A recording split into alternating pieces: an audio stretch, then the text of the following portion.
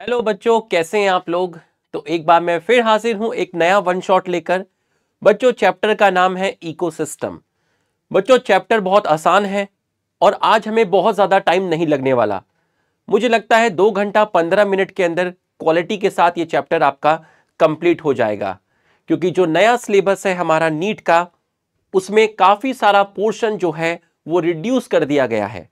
पहले हम इसके अंदर इकोलॉजिकल सक्सेशन भी पढ़ाया करते थे कार्बन साइकिल नाइट्रोजन साइकिल भी पढ़ाया करते थे बट अब हमें वो वाला पोर्शन नहीं पढ़ना है। तो बच्चों, पूरा फोकस करना बहुत आसान चैप्टर है, पूरा का पूरा बेसिक से पढ़ाऊँगा। ठीक? So guys enough of talk let start मेरी ऑडियो वीडियो एकदम आपको क्लियर है। तो आप फटाफट यस लिख दीजिए और हम लोग स्टार्ट करते हैं। फटाफट सभी लोग यस लिख दीजिए और हम लोग क्वालिटी के साथ स्टार्ट करते हैं।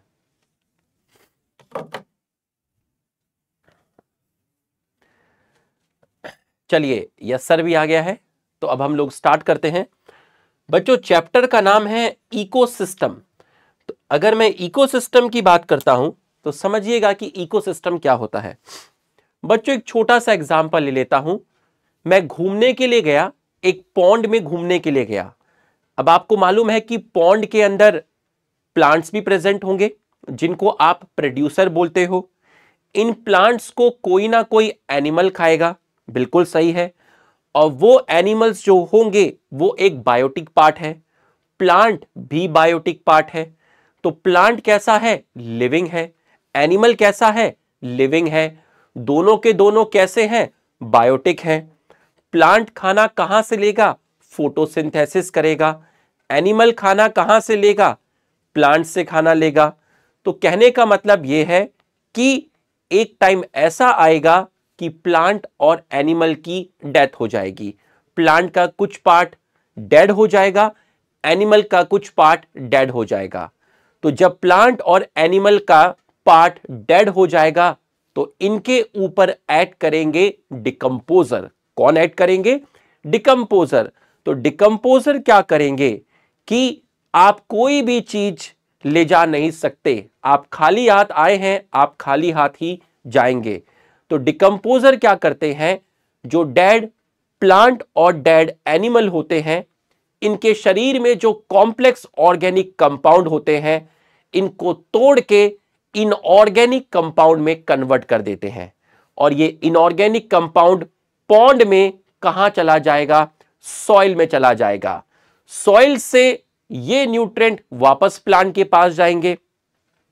प्लांट को खाएगा एनिमल एक टाइम के बाद प्लांट का पार्ट डेड होगा। एनिमल का पार्ट डेड होगा। तो जो डेड पार्ट है प्लांट और एनिमल का, उसके ऊपर डिकम्पोजर आएँगे। वो डेड पार्ट ऑफ़ प्लांट और एनिमल में जो कॉम्प्लेक्स ऑर्गेनिक कंपाउंड होंगे, उनको तोड़ के इनऑर्गेनिक कंपाउंड में कन्वर्ट करेंगे। वो इनऑर्गेनिक कंपाउंड वापस से पॉन्ड के अंदर सॉइल में चला जाएगा। वहाँ से वो कंपाउंड जो इनऑर्गेनिक पार्ट है, वो वापस से प्लांट के पास जाएगा। तो इस तरीके से संसार चलता रहता है। प्लांट एनिमल डिकम्पोजर तीनों के तीनों बायोटिक पार्ट हैं। तीनों के तीनों लिविंग है। सॉइल कैसा है? नॉन लिविंग है। तो बायोटिक और ए बायोटिक कंपोनेंट हो गए। तो एक पॉन्ड के अंदर दो कंपोनेंट हो गए। एक को बोला बायोटिक और दूसरे को बोला ए बायोटिक तो प्लांट एनिमल और माइक्रो ऑर्गेनिज्म जिनको मैं डिकम्पोजर बोल रहा हूँ, इनकी आपस में रिलेशनशिप बायोटिक कंपोनेंट की आपस में रिलेशनशिप और बायोटिक और ए बायोटिक कंपोनेंट की आपस में रिलेशनशिप तो एक इकोसिस्टम में दो कंपोनेंट होते हैं। एक को बोलते हैं बायोटिक और दूसरे को बोलते हैं एबायोटिक अब जो वो लेक है, वो जो पॉन्ड है, उसके आसपास अपना कोई टेम्परेचर भी होगा। उसके आसपास कोई पर्टिकुलर सनलाइट की अवेलेबिलिटी भी होगी। उसके आसपास कोई अपना रेनफॉल भी होगा। तो मैं टेम्परेचर की बात करूँ सॉइल की बात करूँ रेनफॉल की बात करूँ, ये सब एबायोटिक पार्ट होते हैं। लिविंग ऑर्गेनिज्म की बात करूँ प्लांट की एनिमल की डिकम्पोजर की, ये बायोटिक पार्ट होते हैं। तो किसी भी इकोसिस्टम में दो चीज़ें होती हैं, एक बायोटिक और एक एबायोटिक तो बच्चों बायोटिक और एबायोटिक के बीच में जो इंटर रिलेशनशिप होती है ये एक इकोसिस्टम के फंक्शनल रोल को डिसाइड करती है। आपको यहाँ तक चीज़ समझ में आई तो एक बार हमारे सम्मान में यस लिख दीजिए और मैं चैप्टर को स्टार्ट करता हूँ। एक बार हमारे सम्मान में फटाफट यस लिख दीजिए। मैंने एक बहुत आम भाषा में आपको इकोसिस्टम की डेफिनेशन समझाई। यहाँ तक आपकी बात समझ में आई तो आप एक बार यस लिख दीजिए। चलिए, अब चैप्टर को स्टार्ट करते हैं। इकोसिस्टम टर्म अगर मैं आपसे बात करता हूँ, किसने दी थी तो आप बोलेंगे टेंसले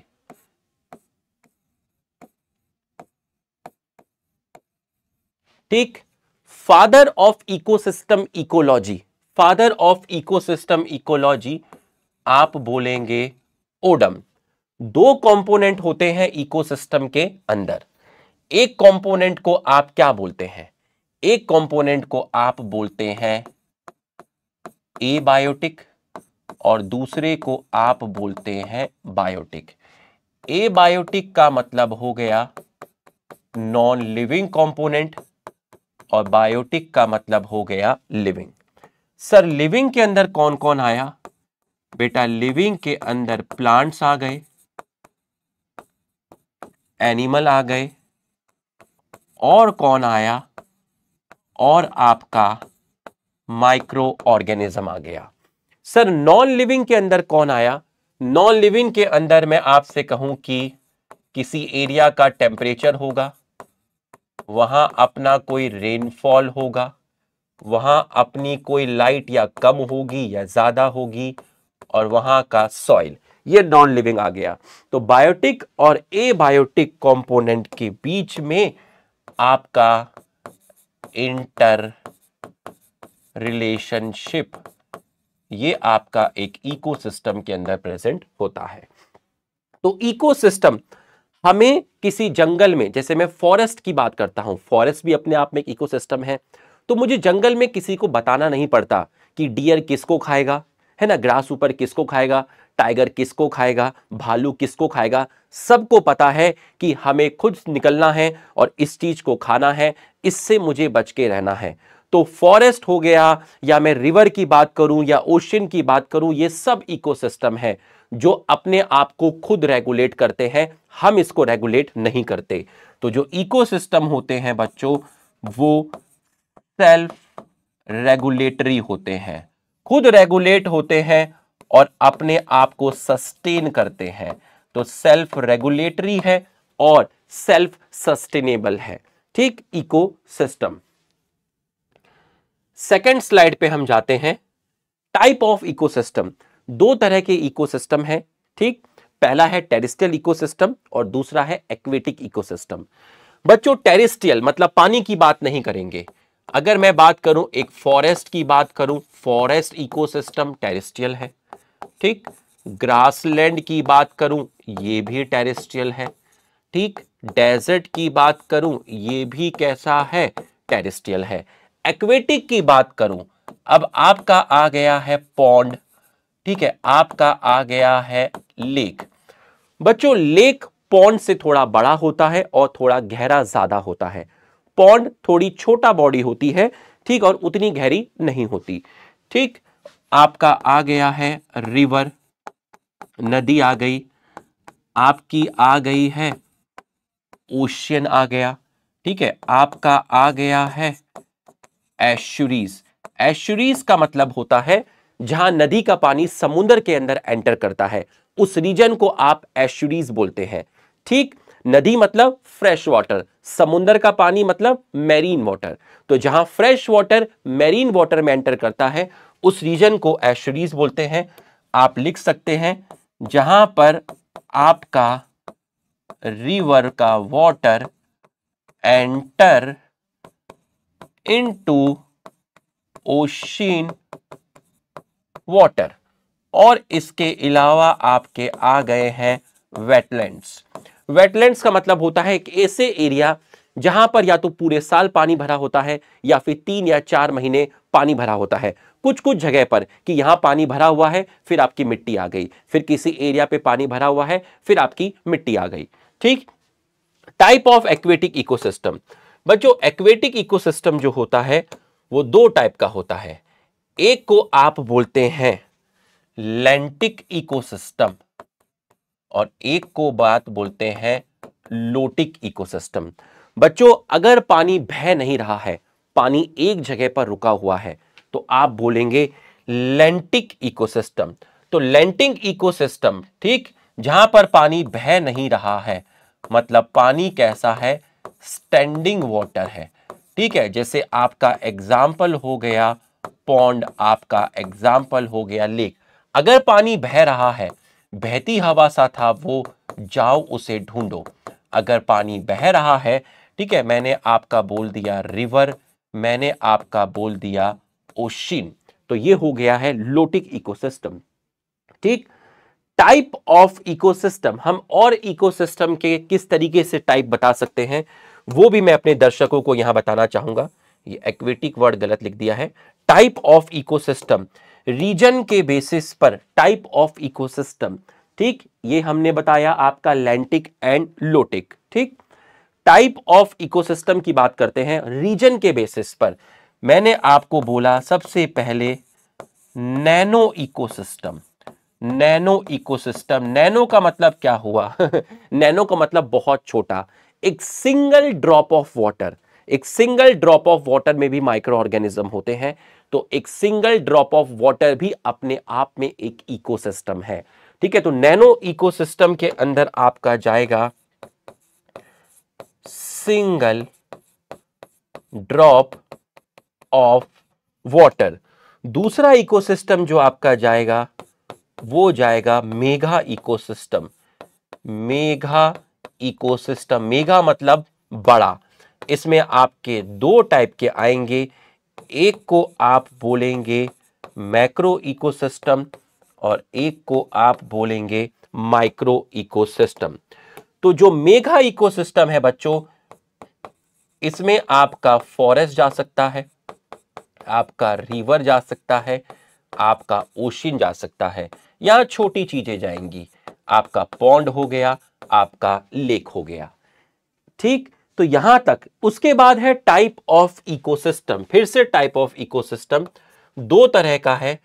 एक को बोलते हैं नेचुरल और एक हमारे द्वारा बनाया गया, जिसको आप बोलते हैं मैन मेड और इसी को आप बोलते हैं एंथ्रोपोजेनिक इकोसिस्टम दो घंटे पंद्रह मिनट के अंदर चैप्टर को फुल डिटेल में क्वालिटी के साथ कंप्लीट किया जाएगा। फुल डिटेल में कंप्लीट किया जाएगा। ठीक? नेचुरल इकोसिस्टम ऐसा इकोसिस्टम जो हमने नहीं बनाया ऑलरेडी एग्जिस्ट करता है। जैसे नदी हो गई, समुंदर हो गया फॉरेस्ट हो गया ग्रासलैंड हो गया। ठीक है? तो अगर मैं आपसे यहाँ पर एग्ज़ाम्पल की बात करता हूँ नेचुरल इकोसिस्टम में दो तीन लिख देता हूँ, ठीक है? फॉरेस्ट हो गया, आपका ग्रासलैंड हो गया, ठीक? आपका रिवर हो गया, आपका ओशियन हो गया। मैन मेड आप खेती बाड़ी करते होंगे, ठीक? आप क्रॉप फ़ील्ड की बात करिए, ठीक है? आप आप एग्रीकल्चर फ़ील्ड की बात करिए, ठीक? आप आप आप एक्वेरियम लेकर आ जाइए। आप अपने घर में जो एक्वेरियम लेकर आए हैं, वो सेल्फ रेगुलेटरी इकोसिस्टम नहीं है। उसका पानी आप बदलेंगे। उसमें कौन सी मछली रहेगी, ये आप डिसाइड करेंगे। उसमें खाना आप डालेंगे। आप उसका पानी मत बदलिए, खाना मत डालिए, आपकी मछलियाँ मर जाएँगी। इसका मतलब जो नेचुरल खेती बाड़ी आप करते हैं फर्टिलाइज़र आप डालते हैं, पानी आप देते हैं। ठीक है? तो अगर मैं आपके घर में छोटा सा गार्डन है तो वहाँ आप उसको रेगुलेट कर रहे हैं। तो जो जो मैनमेड इकोसिस्टम होते हैं, वो सेल्फ रेगुलेटरी नहीं होते। तो मैनमेड इकोसिस्टम में अगर मैं आपसे बात करता हूँ, आप क्रॉप फ़ील्ड बोल सकते हैं, या आप गार्डन बोल सकते हैं, आप एग्रीकल्चर भी बोल सकते हैं, आप एक्वेरियम भी बोल सकते हैं। अब आप खुद सोचिए, आपके घर में छोटा सा गार्डन है। अब आप ये थोड़ी ना एक्सपेक्ट करते हो कि उसके अंदर उस गार्डन में शेर आके बैठा है टाइगर आके बैठा है, भालू भी आके बैठा है। टाइगर भालू से कह रहा है व्हाट्सअप क्या है? क्या हालचाल है? नहीं। तो वो इकोसिस्टम बहुत छोटा है। तो वहाँ पर जो जेनेटिक डाइवर्सिटी मिलेगी, वो आपकी क्या मिलेगी? मोर मिलेगी या लेस मिलेगी? बताइए जरा। जेनेटिक डाइवर्सिटी आपको यहाँ पर मोर मिलेगी या लेस मिलेगी? ठीक है तो ये सेल्फ रेगुलेटरी नहीं होते। No self regulatory no self regulatory least genetic diversity least genetic diversity यहाँ पर जो जेनेटिक डाइवर्सिटी होती है, बहुत कम होती है। तो हमने आपको कुछ इकोसिस्टम के बच्चों टाइप्स बताए, ठीक है? और इकोसिस्टम की आपको डेफिनेशन बताई। नेक्स्ट स्लाइड पे हम जाते हैं। इकोसिस्टम के अंदर, किसी भी इकोसिस्टम के अंदर फॉरेस्ट हो ओशियन हो रिवर हो, उसके दो पार्ट होते हैं। एक होता है उसका स्ट्रक्चरल पार्ट और एक होता है फंक्शनल पार्ट एक एक करके एक्सप्लेन करता हूँ। पहले एक्सप्लेन करता हूँ स्ट्रक्चरल पार्ट ठीक है स्ट्रक्चरल पार्ट किसी भी जंगल का जो बाहर का जो स्ट्रक्चर है, किसी भी जंगल को आप देखोगे तो आपको क्या दिखेगा? आपको उसमें छोटे पौधे दिखेंगे, थोड़े बड़े पौधे दिखेंगे और बहुत बड़े पौधे दिखेंगे। जो बहुत बड़े दिखेंगे, उनको आप पेड़ बोल देते हो ट्री देख देते हो। मतलब किसी का भी आकार, किसी का भी एक्सटर्नल अपेरेंस मैं कहूँ कि एक फॉरेस्ट है, ये एक फॉरेस्ट इकोसिस्टम है तो इसका आकार, इसका एक्सटर्नल अपेरेंस वो जाएगा स्ट्रक्चरल पार्ट में। जैसे मैं एक एग्ज़ाम्पल से आपको समझाता हूँ मेरे बच्चों। देखिए, मान लीजिए मैं एक लेक बना देता हूँ, ठीक? मैं आपका एक लेक बना देता हूँ। ये देखिए, मैंने एक लेक बना दिया, ठीक है? अब इस लेक को मैं तीन पार्ट में डिवाइड कर देता हूँ। ये सबसे ऊपर वाला पार्ट ये बीच वाला पार्ट इसको मैंने बोला ए इसको मैंने बोला बी इसको मैंने बोला सी आप बताइए सबसे ज़्यादा लाइट कहाँ आएगी? अगर मैं लाइट की अवेलेबिलिटी के बारे में बात करता हूँ, अगर मैं लाइट की अवेलेबिलिटी के बारे में बात करता हूँ, ए रीजन पे सबसे ज़्यादा लाइट आएगी या सी रीजन पे सबसे ज़्यादा लाइट आएगी? आप कहोगे सबसे ज़्यादा लाइट ए पर आएगी, उससे थोड़ी कम बी पर और सबसे कम जो आएगी वो आपकी सी पर आएगी। तो लाइट की अवेलेबिलिटी की बेसिस पर आपने लेक को थ्री लेयर्स में डिवाइड कर दिया। थ्री लेयर्स में डिवाइड कर दिया, जिसको आप कह सकते हो वर्टिकल लेयरिंग वर्टिकल लेयरिंग। आपने लाइट के बेसिस पर तीन पार्ट में डिवाइड कर दिया, जिसको आप कह सकते हैं वर्टिकल लेयरिंग। तो अवेलेबिलिटी ऑफ़ लाइट के बेसिस पर तीन पार्ट में आपने डिवाइड कर दिया। तो vertical layering of ecosystem is called is called stratification. Is called stratification. तो मैंने एक एग्ज़ाम्पल से आपको स्ट्रेटिफिकेशन बताया, ठीक?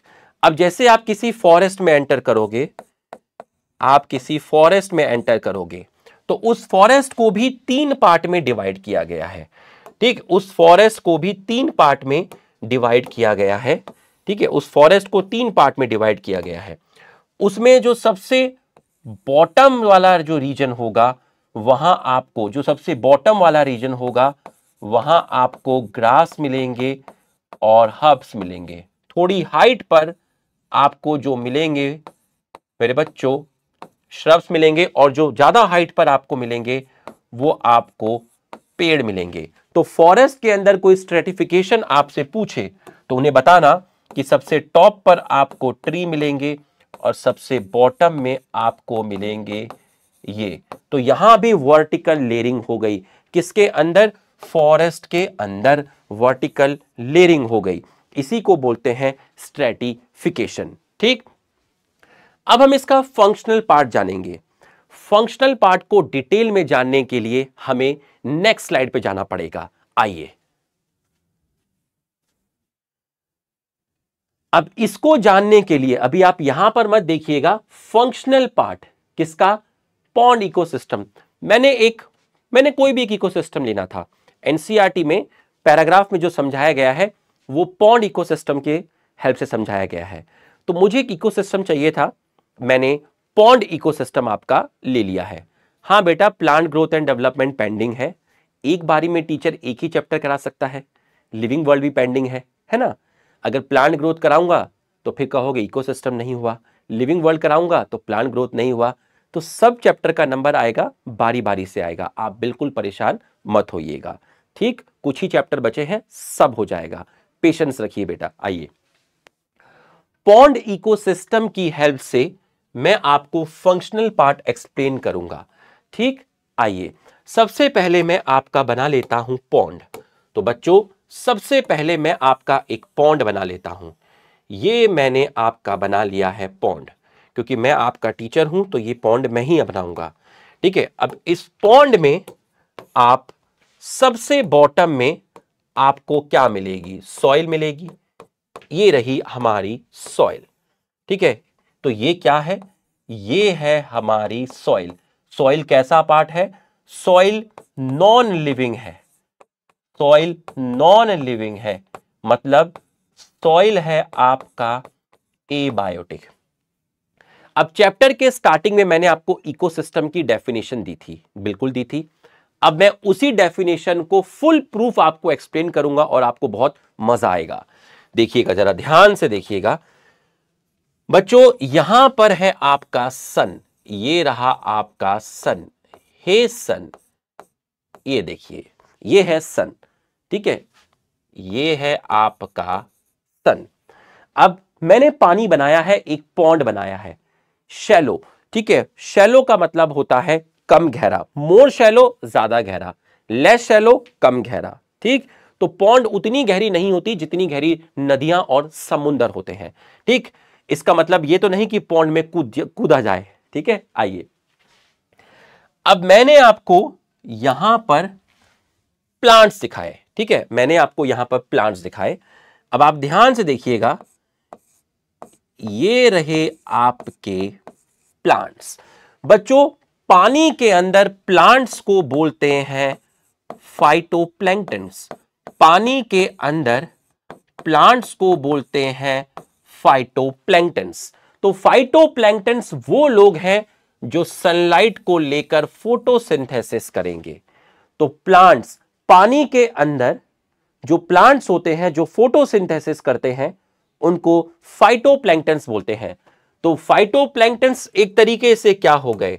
सर फाइटोप्लैंक्टन्स एक तरीके से प्रोड्यूसर हो गए हैं, क्योंकि ये खाना बनाएँगे। तो प्रोड्यूसर में कौन कौन आ सकता है? फाइटोप्लैंक्टन्स है, जिसमें आपके डायटम आ सकते हैं एल्गी आ सकता है सबमर्ज प्लांट वो प्लांट जो पानी में डूबे हुए हैं। या फिर फ्री फ्लोटिंग प्लांट मतलब पानी में प्लांट डूबे हुए भी हो सकते हैं, पानी में प्लांट सरफेस पे भी हो सकते हैं, पानी में प्लांट इस पॉन्ड के किनारे पे भी हो सकते हैं। तो इस पॉन्ड में सबमर्ज प्लांट भी हो सकते हैं फ्री फ्लोटिंग भी हो सकते हैं, इसके किनारे पे भी हो सकते हैं, इसके अंदर डाइएटम्स भी प्रेजेंट हो सकते हैं। ये सब के सब लोग फोटोसिंथेसिस करते हैं, ये लोग प्रोड्यूसर हैं, यही लोग फाइटो हैं। ठीक तो पानी के अंदर जो लोग फोटोसिंथेसिस करके खाना बनाते हैं, उनको आप फाइटोप्लैंक्टन्स बोलते हैं। और ये कैसा पार्ट हुआ? बायोटिक या ए बायोटिक आप बोलेंगे बायोटिक बच्चों, इनके ऊपर जो चीज़ फ़ीड करती है, उनको आप बोलते हैं जू उनको आप बोलते हैं जू अब आप मुझे बताइए जू इनके ऊपर फ़ीड कर रहे हैं। तो जू प्लैंक्टन्स को, जू प्लैंक्टन्स जो है आपके, वो कैसे हो गए? वो आपके हेट्रोट्रॉप्स हो गए। इनमें फ्री स्विमिंग एनिमल भी हो सकते हैं और बॉटम ड्वेलर्स बॉटम का मतलब बॉटम ड्वेलर्स मतलब जो इस लेक में नीचे की तरफ़ होंगे बॉटम की तरफ़ होंगे। तो इनको फ़ीड किया आपका जू प्लैंक्टन्स ने, इनको फ़ीड किया। तो एक तरीके से जू प्लैंक्टन्स क्या हो गए? ये आपके हो गए हैं हर्बीवोरस। ठीक है, ये आपके हो गए हैं हर्बीवोरस। और ये भी कैसा पार्ट हुआ? ये भी आपका बायोटिक पार्ट हुआ, ठीक? ये भी आपका क्या हुआ है? बायोटिक पार्ट हुआ है, ठीक? अब, जू प्लैंकटन जो है, इसको खाया किसने? इसको खाया छोटी मछली ने। छोटी मछली को खाया बड़ी मछली ने, छोटी मछली को किसने खाया? बड़ी मछली ने खाया, ठीक? अब आप ध्यान से मेरी एक बात को समझिएगा, ठीक है? जू प्लैंकटन्स क्या हुआ? सर, जू प्लैंकटन्स एक तरीके से हो गया है, प्राइमरी कंज्यूमर। बिल्कुल सही है, प्राइमरी कंज्यूमर। स्मॉल फ़िश क्या हुआ? सर, स्मॉल फ़िश हो गया है, सेकेंडरी कंज्यूमर ठीक है? और लार्ज फ़िश क्या हुआ बेटा? सर लार्ज फ़िश जो हुआ है, वो हो गया है टर्शरी कंज्यूमर ठीक? अब प्राइमरी कंज्यूमर सेकेंडरी कंज्यूमर और टर्शरी कंज्यूमर बिल्कुल सही है, ठीक? और ये सब आपके हेट्रोट्रॉप्स में आएँगे zooplankton small fishes large fishes ये आपके हेट्रोट्रॉप्स में आएँगे, ठीक है? तो प्लांट्स को खाया जू प्लैंकटन्स ने जू को खाया छोटी मछली ने, छोटी मछली को खाया लार्ज फ़िश ने। अब क्या होगा? सबका कोई ना कोई पार्ट डेड होगा। सबका कोई ना कोई कुछ पार्ट डेड होगा। इसका कुछ पार्ट डेड हुआ। ठीक, इसका कुछ पार्ट फाइटोप्लैंक्टन्स का कुछ पार्ट डेड हुआ। जू का कुछ पार्ट डेड हुआ। स्मॉल फ़िश का कुछ पार्ट डेड हुआ। लार्ज फ़िश का कुछ पार्ट डेड हुआ। तो इनका जो डेड पार्ट आया, ठीक है, इनसे जो आपका डेड पार्ट आया, भाई ज़िंदगी का दस्तूर है, जो आया है, वो जाएगा, लेकिन मर्ज़ी हमारी चलेगी। हम कालीन भैया हैं, यहाँ व्यापार हमारे हिसाब से चलता है।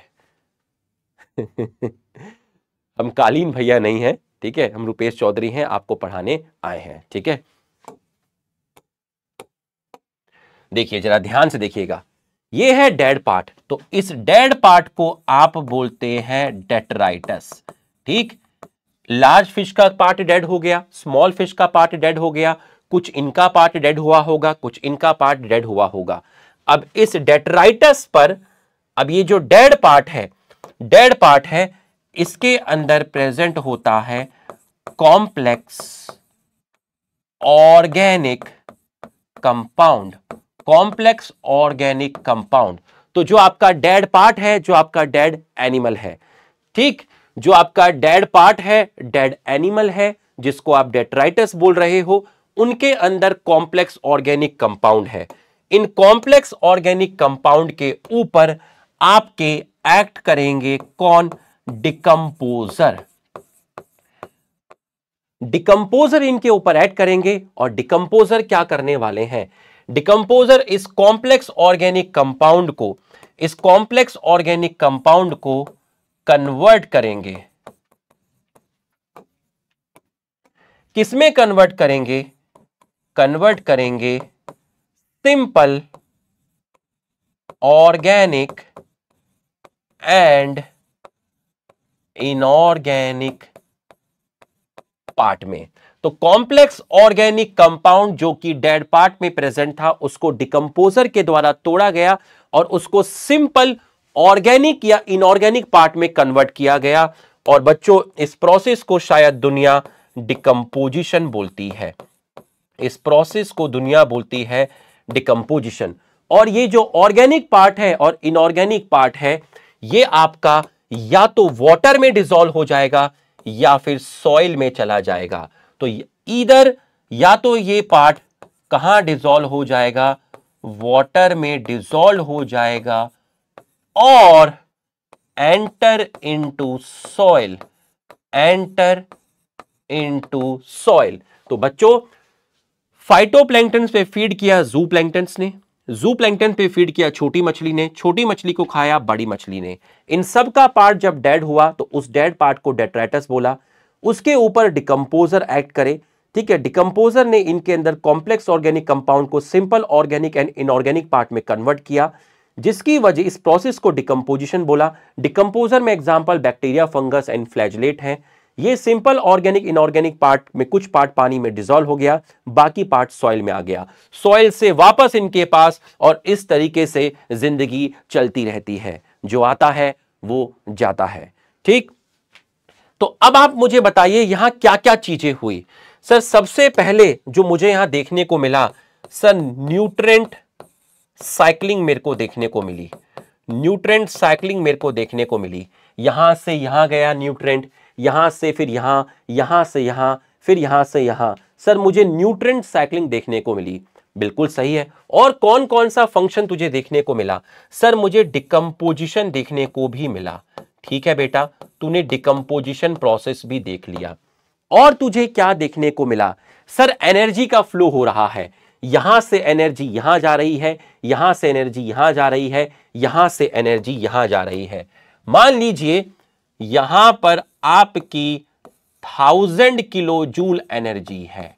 याद रखिएगा, यहाँ से सन से प्लांट के पास जो आती है, वो टेन परसेंट नहीं आती, वो वन परसेंट आती है। तो अगर वन परसेंट आती है तो मुझे बताइए प्लांट के पास कितनी आई? प्लांट के पास आई टेन किलो जूल। सन से प्लांट के पास टेन परसेंट नहीं आती, वन परसेंट आती है। कितनी आती है दीवानो? वन परसेंट आती है। तो हज़ार का वन परसेंट हुआ टेन किलो जूल। अब टेन परसेंट एनर्जी ट्रांसफ़र होगी। इसके पास गई वन किलो जूल।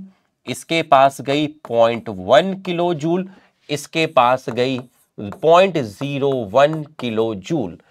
तो बच्चों, आप देख सकते हैं, आप देख सकते हैं, इसको बोलते हैं टी वन, इसको बोलते हैं टी टू, इसको बोलते हैं टी थ्री, इसको बोलते हैं टी फोर। सर, टी का मतलब क्या है? टी का मतलब क्या है? Nation wants to know. T का मतलब है ट्रॉपिक लेवल। ट्रॉपिक लेवल का मतलब होता है position of organism. Position of organism. किसी भी ऑर्गेनिज्म की पोजीशन को बोलते हैं ट्रॉपिक लेवल। तो बच्चों, आप देखिए T one T two T three T four जैसे जैसे आप आगे जा रहे हैं टी फोर मतलब हायर ट्रॉपिक लेवल T1 मतलब लोअर ट्रॉपिक लेवल तो T1, T2, T3, T4 में सबसे हायर ट्रॉपिक लेवल है T4 और सबसे लोअर ट्रॉपिक लेवल है T1 तो higher trophic level lower trophic level पे डिपेंड होता है. Higher trophic level lower trophic level पे डिपेंड होता है. Higher trophic level lower trophic level पे डिपेंड होता है. तो मैं देख सकता हूँ कि यहाँ पर एनर्जी का फ्लो हो रहा है. तो मैंने आपको कोई आपसे पूछे कि इकोसिस्टम का फंक्शनल पार्ट क्या है? पहला न्यूट्रेंट साइकिलिंग दूसरा डिकम्पोजिशन तीसरा एनर्जी फ्लो और चौथा पार्ट है आपका प्रोडक्टिविटी चौथा पार्ट है प्रोडक्टिविटी सर प्रोडक्टिविटी का मतलब क्या होता है? बच्चों, इन प्रोड्यूसर ने सनलाइट को यूज़ करके जो खाना बनाया ठीक है सनलाइट को यूज़ करके जो प्रोड्यूसर ने खाना बनाया, जो एनर्जी इनके पास आई, जो बायोमास इन्होंने गेन किया, जो ऑर्गेनिक मैटर इनके अंदर आया, उसको आप बोलते हैं प्रोडक्टिविटी और बाकी प्रोडक्टिविटी का डिटेल मैं आपको थोड़ी देर में एक्सप्लेन करूँगा, जहाँ मैं आपको gross primary productivity net primary productivity की आपसे बातें करूँगा। ठीक तो प्रोडक्टिविटी एक सिंपल भाषा में मैं आपको बताऊँ सिंपल भाषा में मैं आपको बताऊँ food synthesize by producer using light plants ने लाइट को यूज़ करके जो खाना बनाया, उसको मैंने अभी बोल दिया प्रोडक्टिविटी भाई प्रोडक्टिविटी तो इनकी भी होगी। लेकिन मैंने अभी आपको इसके रेस्पेक्ट में प्रोडक्टिविटी आपको समझाया।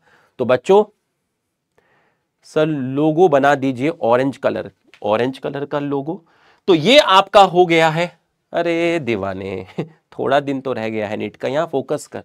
ठीक nutrient cycling, decomposition, energy flow, productivity, ये है आपका फंक्शनल पार्ट। बच्चों, आपको पॉन्ड इकोसिस्टम की हेल्प से फंक्शनल पार्ट समझ में आया। तो एक बार हमारे सम्मान में यस लिख दीजिए। एक बार हमारे सम्मान में यस लिख दीजिए।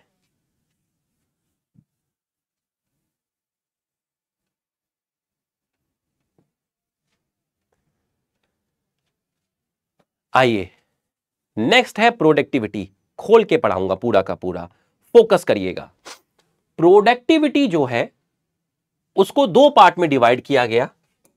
एक को बोला गया, क्या बोला गया?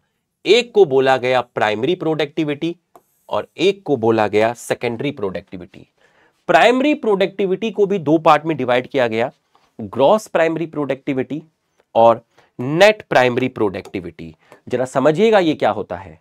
बच्चों ग्रॉस प्राइमरी प्रोडक्टिविटी का मतलब क्या है? देखिए total food synthesize by plant total food synthesize by plant using sunlight इसको बोलते हैं ग्रॉस प्राइमरी प्रोडक्टिविटी ठीक है?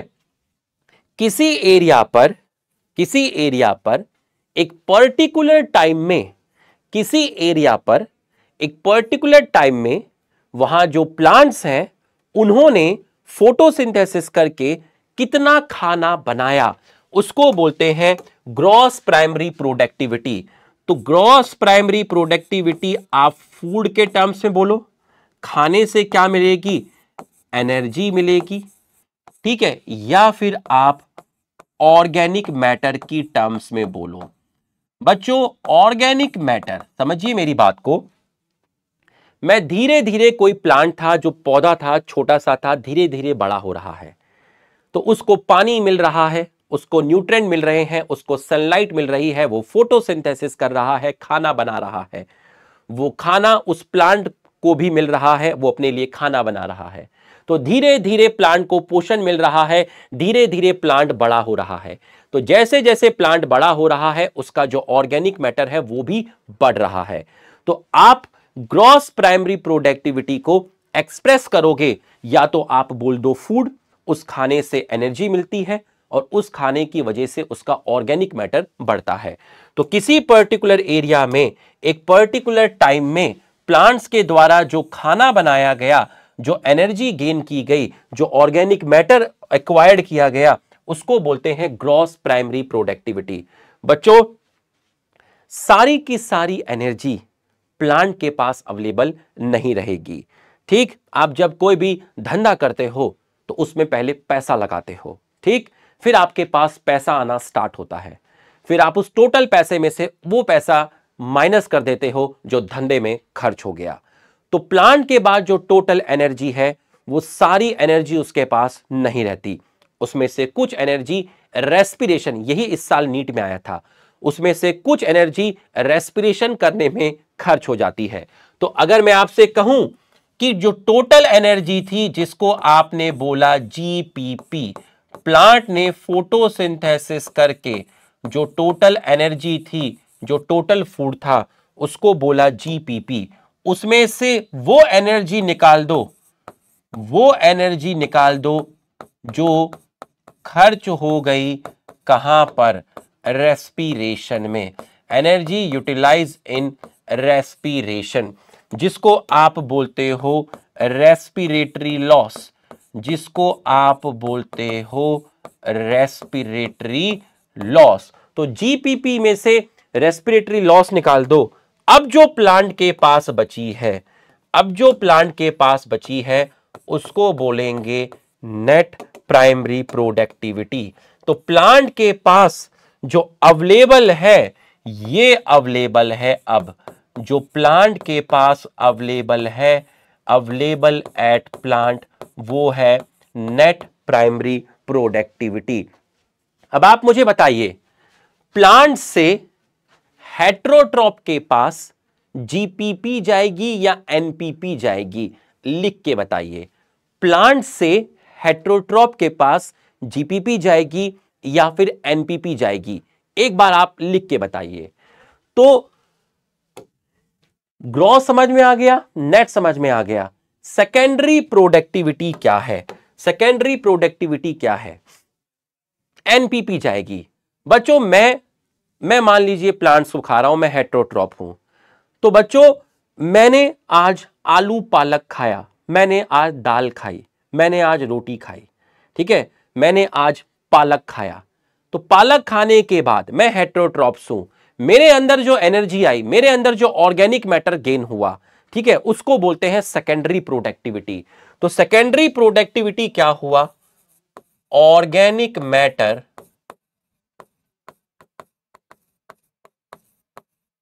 energy synthesized by heterotrophs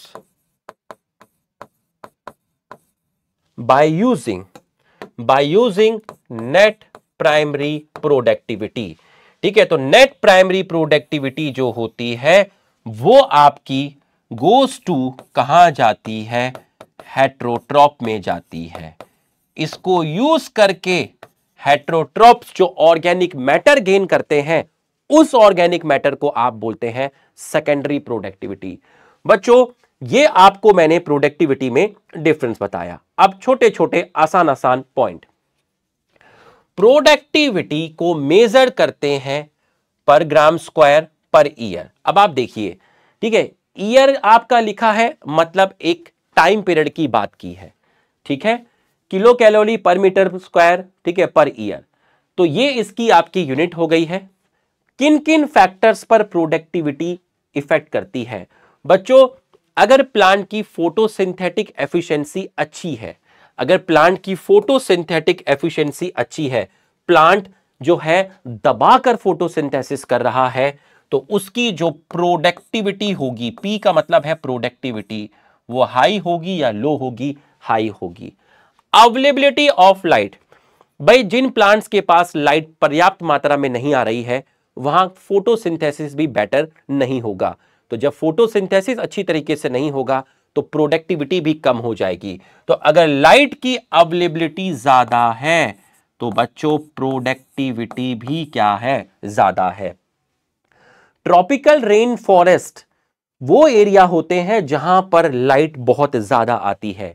equator, भूमध्य रेखा के पास जो रीजन मिलता है, उनको आप ट्रॉपिकल रेन फॉरेस्ट बोलते हैं। ट्रॉपिकल रेन फॉरेस्ट पर लाइट की अवेलेबिलिटी ज़्यादा है as compared to temperate and arctic region इसलिए सबसे ज़्यादा प्रोडक्टिविटी टेरिस्टल इन्वायरमेंट में ट्रॉपिकल रेन फॉरेस्ट के अंदर मिलती है। तो tropical rain forest most productive ecosystem है, क्योंकि यहाँ सनलाइट की अवेलेबिलिटी बहुत ज़्यादा होती है। ठीक है। अब एनसीआरटी में क्वेश्चन मार्क लगा के पूछा है कि सर जो डीप सी होते हैं, वहाँ पर प्रोडक्टिविटी कम क्यों है? आप मेरे को खुद बताइए। जो डीप सी होते हैं, वहाँ पर सनलाइट नीचे नहीं पहुँच पाती। भाई, समुंदर में नीचे तो सनलाइट पहुँच ही नहीं पाएगी। तो समुंदर में नीचे आपके हेट्रोट्रॉप्स ज़्यादा मिलेंगे, क्योंकि समुंदर में नीचे सनलाइट नहीं पहुँच पाती। तो एक डीप सी में लाइट की जो अवेलेबिलिटी है लाइट की जो अवेलेबिलिटी है, वो आपकी काफ़ी लो है। तो इसकी वजह से फोटोसिंथेसिस वहाँ पर नहीं है तो डीप सी में आपके ज़्यादा कंज्यूमर मिलेंगे। आपके ज़्यादा कंज्यूमर मिलेंगे, आपके प्रोड्यूसर नहीं मिलेंगे। तो जब लाइट की अवेलेबिलिटी कम है तो वहाँ प्रोडक्टिविटी कम है। और वहाँ पर नाइट्रोजन बहुत कम मिलता है मतलब नाइट्रोजन वहाँ पर लिमिटिंग है। तो एनसीआरटी में लिखा था कि डीप सी में प्रोडक्टिविटी लिमिटिंग क्यों होती है? अपने टीचर से पूछिए। टीचर ने आपको दो कारण बताए। एक तो लाइट की अवेलेबिलिटी कम है। दूसरा, वहाँ पर नाइट्रोजन आपका कम मिलता है। ठीक?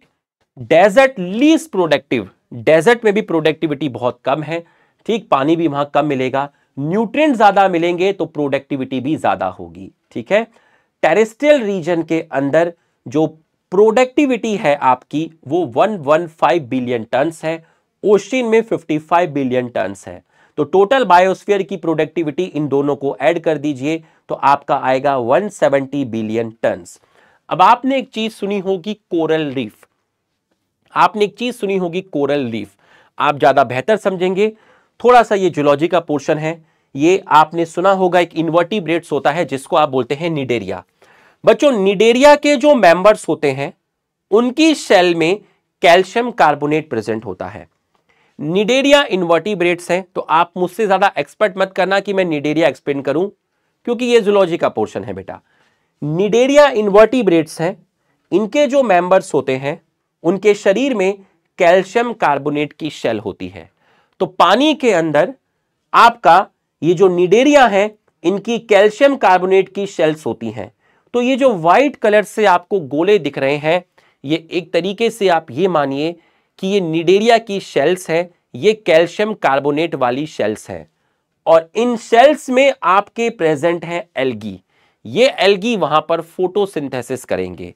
तो एक ऐसा रीजन जहाँ पर बहुत सारा कैल्शियम कार्बोनेट मिलता है, in the form of shells of cnidaria, वहाँ एल्गी पाए जाते हैं जो फोटोसिंथेसिस करते हैं। ऐसे रीजन को बोलते हैं कोरल रीफ।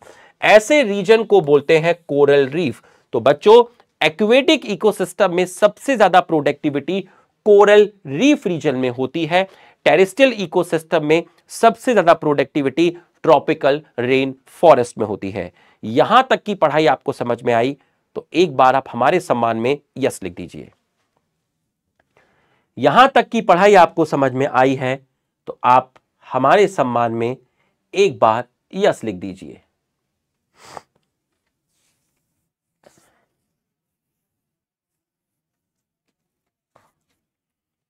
तो बच्चों, मेरे को एक एक करके ये सारी चीज़ें एक्सप्लेन करनी है। मैंने आपको अभी क्या एक्सप्लेन किया? मेरे बच्चों, मैंने आपको प्रोडक्टिविटी एक्सप्लेन किया। अब मुझे ये तीनों प्रोसेस एक्सप्लेन करने हैं। Energy flow decomposition nutrient cycling एक एक करके मैं आपको एक्सप्लेन करता हूँ। अब मैं आपको डिकम्पोजिशन एक्सप्लेन करूँगा। तो सभी लोग हेडिंग डाल दीजिए डिकम्पोजिशन मैं भी डाल देता हूँ और आप भी डाल दीजिए। ठीक? ये लीजिए हेडिंग डिकम्पोजिशन डिकम्पोजिशन तो आप हेडिंग डाल दीजिए, आप हेडिंग डाल दीजिए डिकम्पोजिशन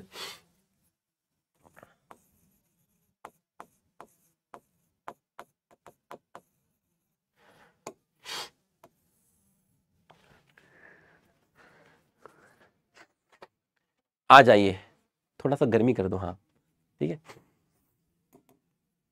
तो अब मैं आपको बोला डिकम्पोजिशन बच्चों, जब आप सॉइल को देखते हो, ठीक है? बंदी कर दो उसको तो। नहीं तो डिस्टर्ब होगा बाहर। आ जाओ जुकाम हो रखा है। अब है आपका डिकम्पोजिशन प्रोसेस तो मैं आपको सॉइल बनाता हूँ पहले। ये है सॉइल का सरफेस ये है आपका सॉइल का सरफेस बच्चों सॉइल में डिफरेंट लेयर्स होती हैं, ठीक है? सॉइल के अंदर डिफरेंट लेयर होती हैं. जैसे सॉइल की सबसे ऊपर वाली लेयर को बोलते हैं ओ उसके नीचे ए फिर बी फिर सी फिर आर ये सॉइल की डिफरेंट लेयर्स होती है. आपने कभी घर में गार्डनिंग की होगी? तो जब भी आपने फावड़ा लेके मिट्टी को खोदा होगा फ़सल लगाने के लिए तो आप जितना नीचे खोदते हुए जाओगे तो जो पत्थर होंगे, उनका साइज़ छोटा होता जाएगा या बड़ा होता जाएगा? स्मॉल या फिर लार्ज लिख के बताइए।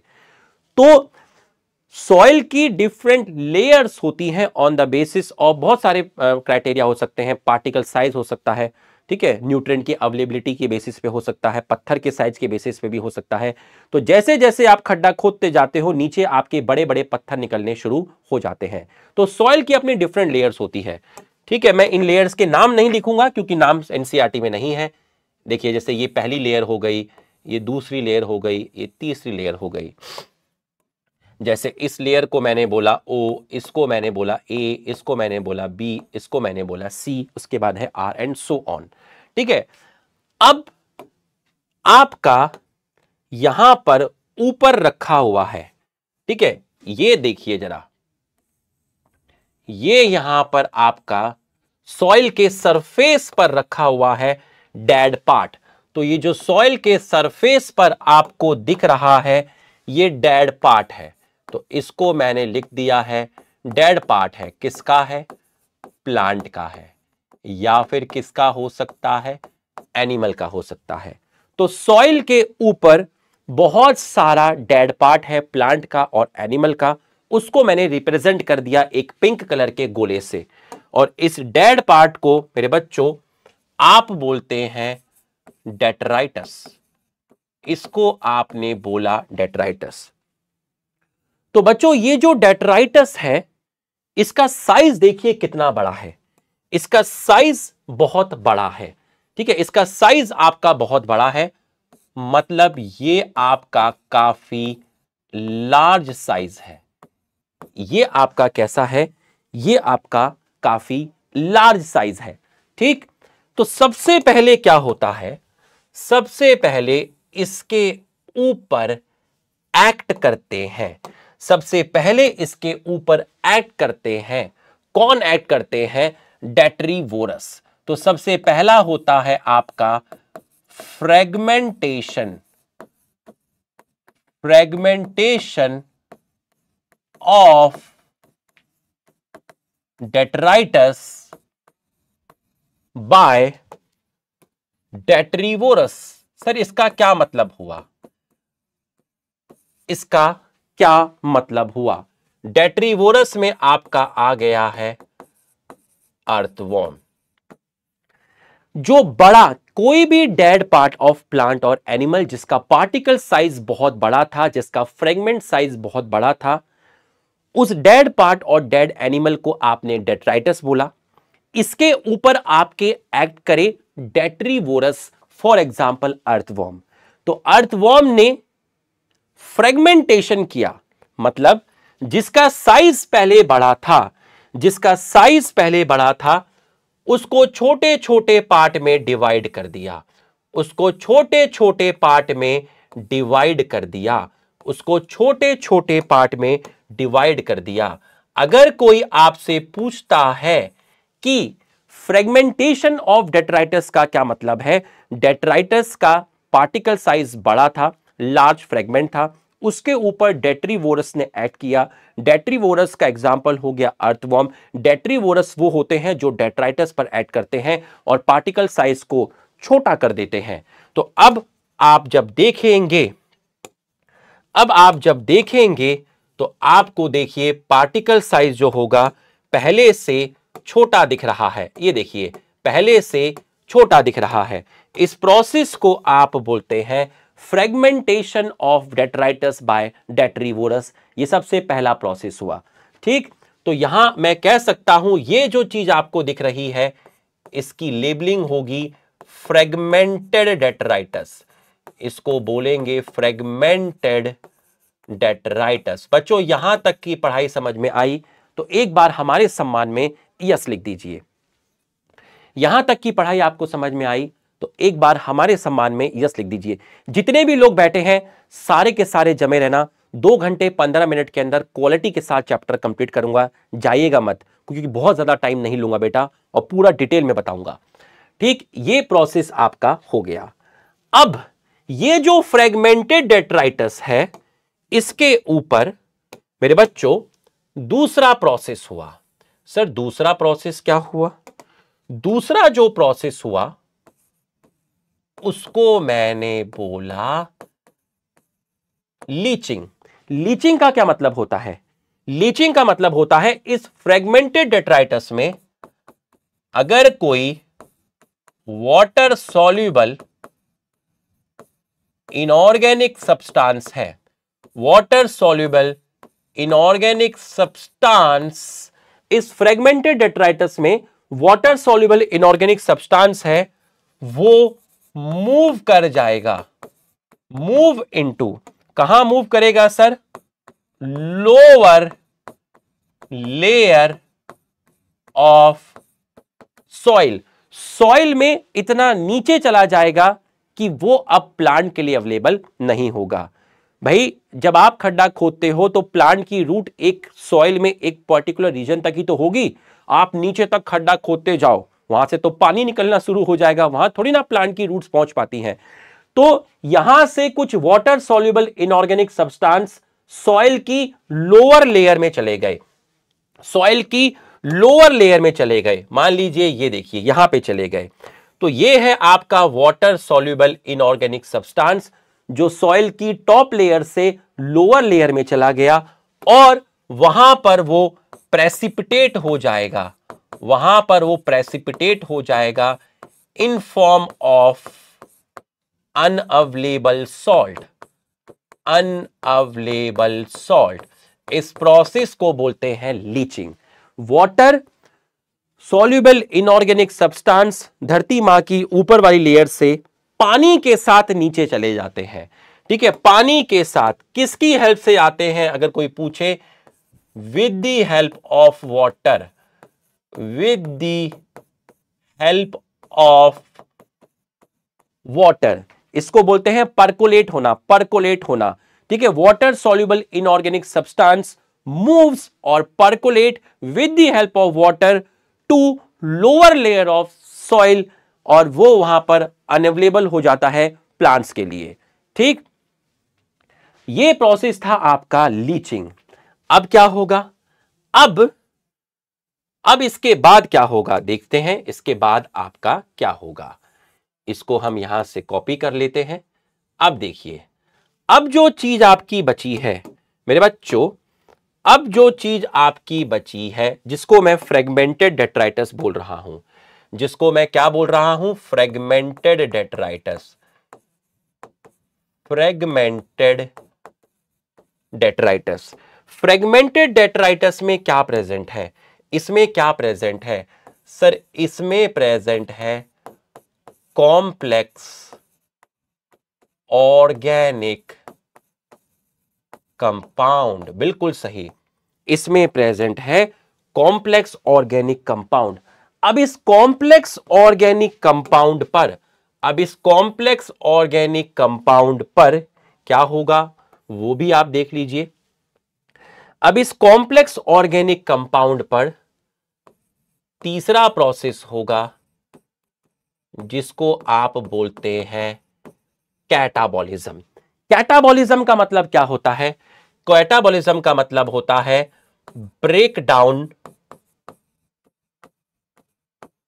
of complex organic compound complex organic compound इसमें जो कॉम्प्लेक्स ऑर्गेनिक कंपाउंड है, उनका ब्रेकडाउन होगा। सर ब्रेकडाउन कौन करेगा? आप करोगे? नहीं बेटा, ऐसे नहीं बोलते। इनका ब्रेकडाउन करेंगे आपके सैप्रोफिटिक डिकम्पोजर्स सैप्रोफिटिक डिकम्पोजर्स जिसमें आपके बैक्टीरिया आएँगे, आपके फंगस भी आएँगे। जिनको आप माइक्रो ऑर्गेनिज्म बोल रहे हैं, आपका बैक्टीरिया आ गया, आपका फंगस आ गया। अब कॉम्प्लेक्स ऑर्गेनिक कंपाउंड जो धरती माँ में प्रेजेंट है, उसका कैटाबॉलिज्म होगा। कॉम्प्लेक्स ऑर्गेनिक कंपाउंड जो कि डेट्राइटस में प्रेजेंट है, उसको तोड़ा जाएगा। तो उसको तोड़ा जाएगा, देखिए जरा तो जब वो टूटेगा जब वो टूटेगा तो कैसे टूटेगा? ध्यान से देखिएगा। उस कॉम्प्लेक्स ऑर्गेनिक कंपाउंड को, उस कॉम्प्लेक्स ऑर्गेनिक कंपाउंड का ब्रेकडाउन हुआ। किसमें ब्रेकडाउन हुआ? सिंपल ऑर्गेनिक कंपाउंड में ब्रेकडाउन हुआ। तो मैंने उस कॉम्प्लेक्स ऑर्गेनिक कंपाउंड का ब्रेकडाउन किया। किसमें ब्रेकडाउन किया? सिंपल ऑर्गेनिक कंपाउंड सर, आपने दो बार सिंपल ऑर्गेनिक कंपाउंड क्यों लिखा? बच्चों, कॉम्प्लेक्स ऑर्गेनिक कंपाउंड का जब ब्रेकडाउन होगा तो वो ब्रेक सिंपल ऑर्गेनिक कंपाउंड में। उनमें से कुछ simple organic compound further break करेंगे और कन्वर्ट हो जाएँगे सिंपल इनऑर्गेनिक कंपाउंड में। एकदम से कन्वर्ट हो जाएँगे। तो कॉम्प्लेक्स ऑर्गेनिक कंपाउंड किसमें कन्वर्ट हुआ? सिंपल ऑर्गेनिक कंपाउंड में।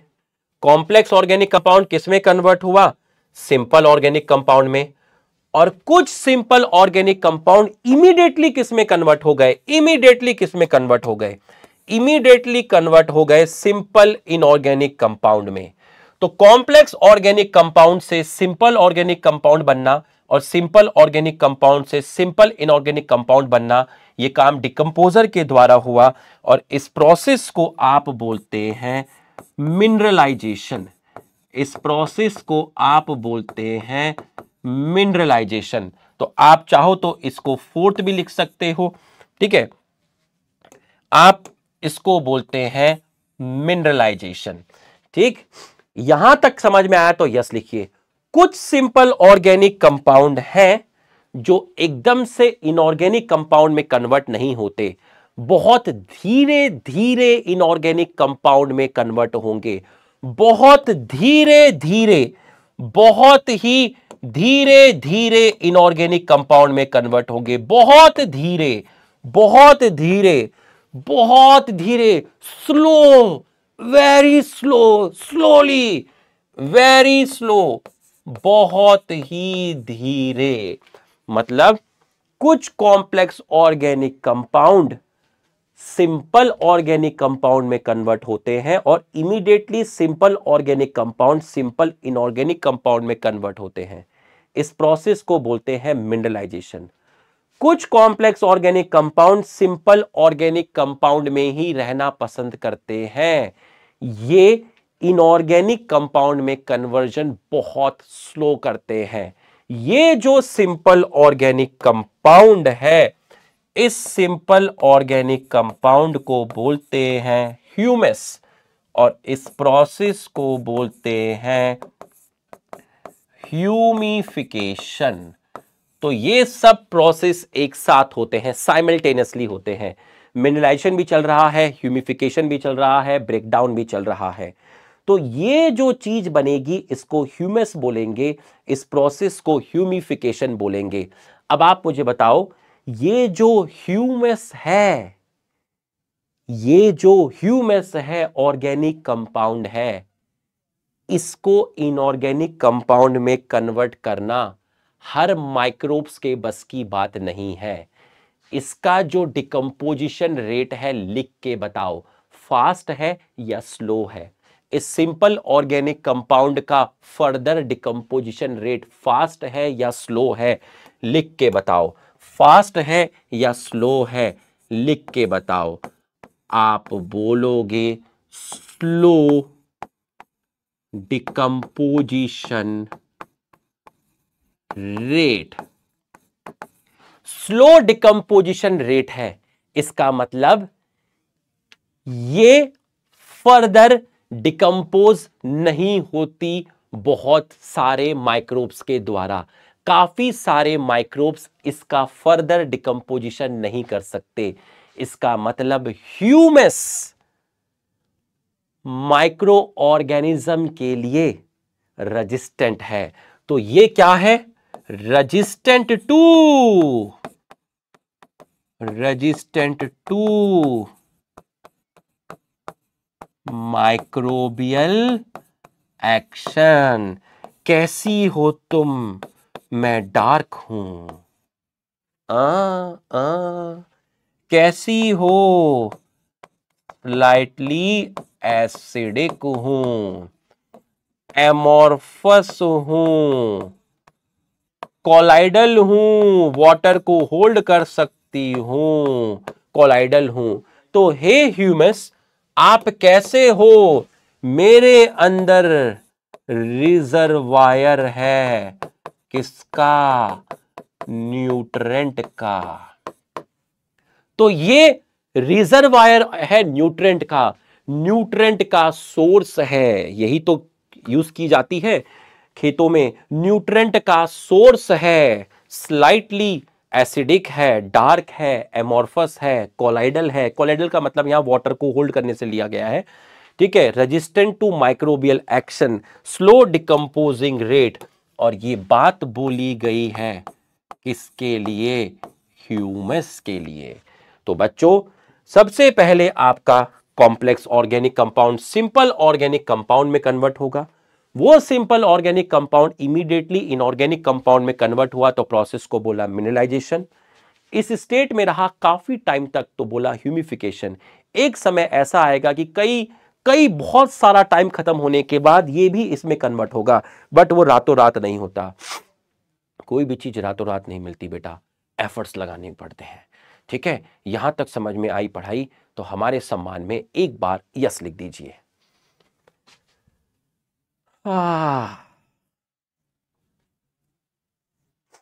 यहाँ तक की पढ़ाई आपको समझ में आई तो एक बार आप यस लिख दीजिए। अब आप देखिए, अब ये जो आपका हुआ था यहाँ पर मिनरलाइजेशन प्रोसेस हुआ था तो आपके नॉन मिनरल्स ही प्रोड्यूस होंगे और मिनरल्स ही प्रोड्यूस होंगे। मिनरल्स में आ गया पोटेशियम और ये कैल्शियम नॉन मिनरल्स में सीओ टू और वाटर फैक्टर अफेक्टिंग डिकम्पोजिशन ठीक है, ये प्रोडक्टिविटी और डिकम्पोजिशन बहुत इंपॉर्टेंट है, यहाँ से नीट में क्वेश्चन आते हैं, ठीक है? सर पब्लिक प्लेस में जाने से डर लगता है तो बेटा पब्लिक प्लेस में जाना ही क्यों है? जब सारा का सारा काम एक कमरे पे हो सकता है तो पब्लिक प्लेस पे क्यों जाना? हमें पढ़ाई करनी है और पढ़ाई हमारी कमरे पर हो सकती है। सारे काम कमरे पे होते हैं, आप खाते कमरे पे हो, नहाते कमरे पे हो मूवी कमरे पे देखते हो पढ़ाई कमरे पे करते हो तो पब्लिक प्लेस पे जाना ही क्यों है बेटा? आओ। आ जाओ। Factor affecting decomposition factor affecting decomposition बच्चों, पहला फैक्टर है केमिकल कंपोजिशन ऑफ़ डेट्राइटिस मतलब जिस चीज़ का आपको डिकम्पोजिशन करना है, उसके केमिकल कंपोजिशन पे भी डिसाइड होता है कि रेट ऑफ़ डिकम्पोजिशन स्लो होगा या फास्ट होगा। अगर डेट्राइटस का कॉम्पोजिशन लिग्निन है या फिर काइटिन है मतलब जो डेट्राइटस है, जो डेड पार्ट है प्लांट का और एनिमल का, उसका कॉम्पोजिशन अगर लिग्निन है काइटिन है तो भाई डिकम्पोजिशन बताओ कैसा होगा? फास्ट होगा या स्लो होगा? आप बोलेंगे स्लो होगा। अगर उसका नाइट्रोजिनस कंपाउंड, या मैं कहूँ सिंपल शुगर्स, या अमीनो एसिड है तो रेट ऑफ़ डिकम्पोजिशन जो होगा, वो आपका फास्ट होगा। 20 से 25 डिग्री सेल्सियस, ये तापमान आपको चाहिए तो आपका डिकम्पोजिशन फास्ट होगा। इसलिए जो ठंडी जगह होती है आर्कटिक रीजन वहाँ तापमान कम होता है, इसलिए वहाँ डिकम्पोजिशन स्लो होता है। लेकिन जो ट्रॉपिकल रीजन है, जहाँ तापमान ठीक ठाक है, वहाँ डिकम्पोजिशन फास्ट है। तो ट्रॉपिकल रीजन में अच्छा डिकम्पोजिशन होगा देन उससे कम टेम्परेट देन सबसे कम आर्कटिक ठीक? मॉइस्चर भी चाहिए डिकम्पोजिशन करने के लिए। अगर अच्छा मॉइस्चर अवेलेबल है तो डिकम्पोजिशन फास्ट होगा। तो दो फैक्टर जो सबसे इंपॉर्टेंट है डिकम्पोजिशन के लिए मोस्ट इंपॉर्टेंट फैक्टर वो है टेम्परेचर एंड मॉइस्चर वो है आपका टेम्परेचर एंड मॉइस्चर एरिएशन मतलब आपको ऑक्सीजन चाहिए। तो एरोबिक कंडीशन में डिकम्पोजिशन फास्ट है। एनेरोबिक कंडीशन देखिए एनेरोबिक एनेरोबिक कंडीशन और लो टेम्परेचर लो टेम्परेचर पे डिकम्पोजिशन स्लो है। लो टेम्परेचर और एनेरोबिक कंडीशन में डिकम्पोजिशन इनिबिट होता है। ठीक है? तो डिकम्पोजिशन इनिबिट हो रहा है। तो अगर कोई आपसे पूछे कि लो टेम्परेचर और एनेरोबिक कंडीशन में कॉम्प्लेक्स ऑर्गेनिक कंपाउंड का ब्रेकडाउन होगा या कॉम्प्लेक्स ऑर्गेनिक कंपाउंड इकट्ठे होते जाएँगे। बिल्डअप होता जाएगा कॉम्प्लेक्स ऑर्गेनिक कंपाउंड का ब्रेकडाउन होगा या वो बिल्डअप होते जाएँगे, लिख के बताओ। भाई, जब डिकम्पोजिशन ही नहीं है तो कॉम्प्लेक्स ऑर्गेनिक कंपाउंड इकट्ठे होते जाएँगे बिल्डअप होते जाएँगे। ठीक है, आपका बिल्डअप होते जाएँगे। वॉर्म मतलब ठीक ठाक तापमान होगा। वॉर्म एंड मॉइस्चर जो होगा वो डिकम्पोजिशन को फेवर करेगा। वॉर्म मतलब टेम्परेचर से आ गया वार्म टेम्परेचर और मॉइस्चर जो होगा, वो डिकम्पोजिशन को फेवर करेगा। तो बच्चों, एक कहानी यहाँ पर खत्म हुई। तो एक कहानी खत्म इसलिए होती है ताकि हम दूसरी कहानी शुरू कर सकें। पूरा फोकस करिएगा, है ना? एक पंद्रह तक क्वालिटी के साथ खत्म करेंगे। ठीक है? आ जाइए। एक पाँच तक चैप्टर खत्म करेंगे और दस मिनट में हम next P Y Q question को कंप्लीट करेंगे। ठीक है? आ जाइए। अब मैं एनर्जी फ्लो की बात करता हूँ। तो जो टोटल एनर्जी होती है, उसमें करीब लेस देन 50 परसेंट, ठीक है? जो टोटल लाइट है, जो टोटल लाइट है, उसकी भी less than 50 percent available for plants जिसको आप बोलते हैं P A R P A R जिसको आप बोलते हैं फ़ोटो सिंथेटिक एक्टिव रेडिएशन और इसमें से भी, बच्चों, इसमें से भी दो से दस परसेंट आपकी यूटिलाइज होती है, utilise in food synthesis by plant. तो करीब इतनी फोटोसिंथेसिस के लिए अवेलेबल है, बट प्लांट सारी यूज़ नहीं करता, इसकी भी दो से दस परसेंट यूज़ करता है फ़ूड सिंथेसिस के लिए।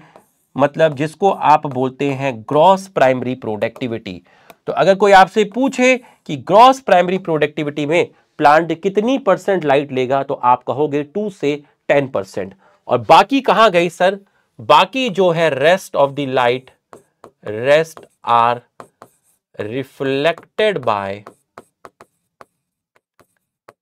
clouds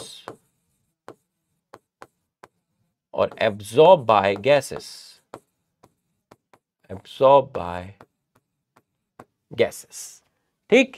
तो एक चीज़ तो आपकी ये हो गई, ठीक?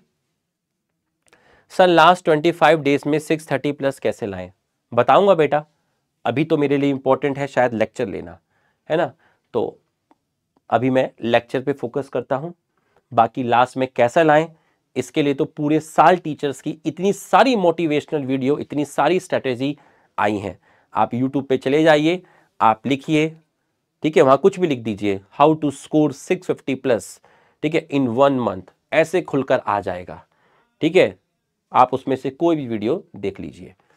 अभी ज़्यादा जो इंपॉर्टेंट है मेरे लिए, वो इस चैप्टर को पढ़ाना है तो जो बच्चा है बैठा हुआ है, वो इसको पढ़ने के लिए आया है, ठीक, चलिए इनफ ऑफ़ टॉक आ जाओ।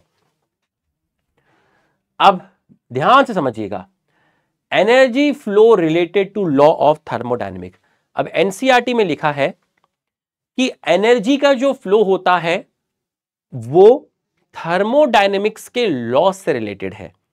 अब मैं फिजिक्स केमिस्ट्री का मास्टर तो हूँ नहीं तो लॉ ऑफ़ थर्मोडायनेमिक्स आप मुझसे तो एक्सपेक्ट करेंगे नहीं कि मैं आपको पढ़ाऊँगा। लेकिन जितना ज़रूरी है बायोलॉजी पॉइंट ऑफ़ व्यू से, जो एनसीईआरटी कहना चाहती है कि एनर्जी के फ्लो को first law of thermodynamic and second law of thermodynamics से रिलेट करके बच्चों को समझा दीजिए। ठीक? वो मैं आपको समझा देता हूँ। बच्चों, एक चीज़ है प्लांट। प्लांट को खाया ग्रास ऊपर ने ग्रास ऊपर को खाया फ्रॉग ने, फ्रॉग को खाया स्नेक ने, स्नेक को फाड़ा बर्ड ने। प्लांट ग्रास ऊपर फ्रॉग, स्नेक, बर्ड। ठीक? ये मैंने आपका यहाँ पर बनाया है। बच्चों, प्लांट क्या है? भाई प्लांट है प्रोड्यूसर ठीक है। ग्रास ऊपर क्या है? ग्रास ऊपर है आपका हर्बीवोरस ये है हर्बीवोरस जिसको मैं बोल सकता हूँ प्राइमरी कंज्यूमर ठीक है? अब, ये क्या है? ये है सेकेंडरी कंज्यूमर कार्निवोरस ये क्या है? ये है टर्शरी कंज्यूमर और ये क्या है? ये है आपका क्वाटनरी कंज्यूमर क्वाटनरी कंज्यूमर ठीक? अब ये मांसाहारी है। इसने सबसे पहले मांस इसने खाया। तो ये कौन हुआ मेरे बच्चों? ये हुआ प्राइमरी कार्निवोरस ये हुआ प्राइमरी कार्निवोरस। ये हुआ सेकेंडरी कार्निवोरस। ये हुआ टर्शरी कार्निवोरस। ठीक, ये ट्रॉपिक लेवल टी वन, ये टी टू, ये टी थ्री ये टी फोर ये टी फाइव ये हायर ट्रॉपिक लेवल हुआ और ये लोअर ट्रॉपिक लेवल हुआ, ठीक है? अब पूरा का पूरा फोकस करना। ये जो एनर्जी का फ्लो हुआ, अगर यहाँ पर दस हज़ार किलो जूल है सन के पास तो बच्चों प्लांट के पास वन परसेंट आएगी, मैंने आपको बताया था। तो इसके पास आई है हंड्रेड ठीक है? इसके पास गई है टेन इसके पास वन इसके पास पॉइंट वन इसके पास ज़ीरो पॉइंट ज़ीरो वन अब फ़र्स्ट लॉ क्या कहता है? एनर्जी थर्मोडाइनमिक का फ़र्स्ट लॉ क्या कहता है? Can't energy can't be created और destroy energy can't be created और destroy but it change its form ऐसे ही कुछ कहता है कि एनर्जी जो होती है, ठीक है? अरे सर, कभी ना कभी तो घर से बाहर निकलना होगा। अरे दीवाने, अभी घर से निकलने का समय नहीं है। जब नीट का एग्ज़ाम होगा, तब घर से निकलना, ठीक है? तो अभी एकदम आराम से बैठ। समझ में आया? पढ़ाई कर ले। मेरे पास बहुत इंपॉर्टेंट काम है। कंप्यूटर वाले भैया को बोलूँगा कि इसको ब्लॉक कर दो, एक मिनट में ब्लॉक हो जाएगा। फिर कमरे पे बैठे रहना। समझ में आया? लेकिन मेरे पास बहुत इंपॉर्टेंट काम है अभी। उसको यहाँ पे फोकस कर। कभी ना कभी तो घर से निकलना ही होगा। अरे, जब तू इतने टाइम से नहीं निकला तो अब निकल के भी क्या कर लेगा? कोई नहीं मिलेगा बाहर, बेटा। सब घर के अंदर पढ़ाई कर रहे हैं। एनर्जी कांट बी क्रिएटेड और destroy but it change its form लुखे, पढ़ ले। Energy can't be created destroy it can't be created और destroy but it change its form बच्चों, जब सन के पास जो एनर्जी होती है, वो लाइट एनर्जी होती है। प्लांट क्या करता है? फोटोसिंथेसिस करता है। और प्लांट फोटोसिंथेसिस करके जो सन की एनर्जी होती है लाइट एनर्जी उसको कन्वर्ट कर देता है। उसको कन्वर्ट कर देता है। किसमें कन्वर्ट करता है? केमिकल एनर्जी ऑफ़ फ़ूड तो आप देखिए एनर्जी की एक फॉर्म दूसरी फॉर्म में कन्वर्ट हो गई। लाइट एनर्जी जो थी सन के पास उसको एक फॉर्म से दूसरे फॉर्म में कन्वर्ट किया और किसने किया? प्लांट्स ने किया। तो इससे first law of thermodynamic proof हो गया। बच्चों सेकेंड लॉ ऑफ़ थर्मोडायनेमिक क्या है? ध्यान से समझिएगा। पूरी की पूरी एनर्जी आगे नहीं जाती। ये जो आपको H दिख रहा है, इस H का मतलब है हीट तो यहाँ से सारी एनर्जी यहाँ नहीं गई। एनर्जी हीट की फॉर्म में लॉस हुई। एनर्जी हीट की फॉर्म में लॉस हुई। एनर्जी हीट की फॉर्म में लॉस हुई। तो बच्चों, जो एनर्जी हीट की फॉर्म में लॉस हो रही है, वो एनर्जी सिस्टम में अवेलेबल नहीं है सिस्टम वो एनर्जी सिस्टम में अवेलेबल नहीं है, वो एनर्जी सराउंडिंग में चली गई। अब आप मुझे बताइए, क्या वो एनर्जी वर्क डन करने के लिए अवेलेबल होगी? यस और नो लिख के बताइए। The energy which is loss in the form of heat is not available for work done true और फॉल्स बताइए। जो एनर्जी हीट की फॉर्म में लॉस हो गई सराउंडिंग में, वो एनर्जी सिस्टम में वर्क करने के लिए अवेलेबल नहीं है। ट्रू और फॉल्स बताइए। बिल्कुल सही बिल्कुल सही। बहुत बढ़िया बहुत बढ़िया बहुत बढ़िया खेले हैं। आपको मिलता है एक रुपए का क्लिनिक प्लस बहुत बढ़िया बहुत बढ़िया। आपको मिलती है तेल की सीसी जम के तेल लगाएँ बेटा। दिन में लगाएँ, दोपहर में लगाएँ, रात में लगाएँ। ठीक है तो वो एनर्जी सराउंडिंग में जाएगी और वहाँ क्रिएट करेगी क्या? डिस्टरबेंस डिसऑर्डर एंट्रोपी तो सेकेंड लॉ क्या हुआ? Energy energy release in form of heat not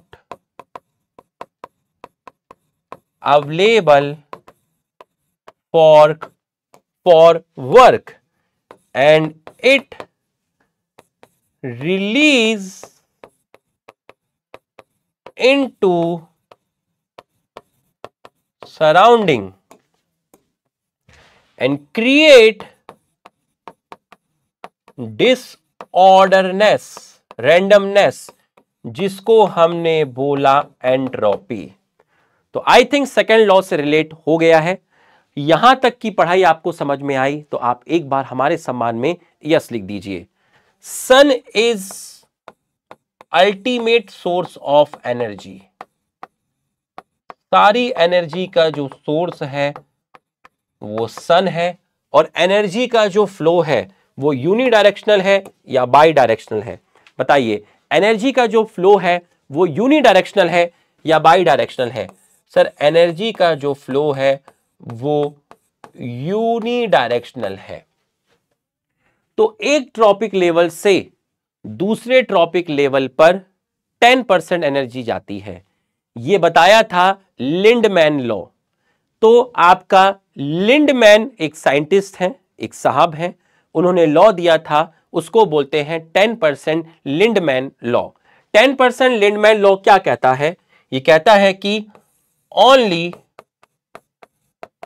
ten percent energy transfer from one trophic level to another अरे दीवाने, यहाँ देख कितना इंपॉर्टेंट चल रहा है। प्रोड्यूसर के एग्ज़ाम्पल लिखे हुए हैं कि टेरिस्टल में प्रोड्यूसर कौन होते हैं? हर्बी वो herbaceous and woody plant aquatic में फाइटोप्लैंक्टन्स एल्गी ठीक है? फिर herbivorous insect bird mammals terrestrial में एक्वेटिक में मोलस्का फ़ूड चेन क्या है? फ़ूड चेन क्या है? एक चेन है where where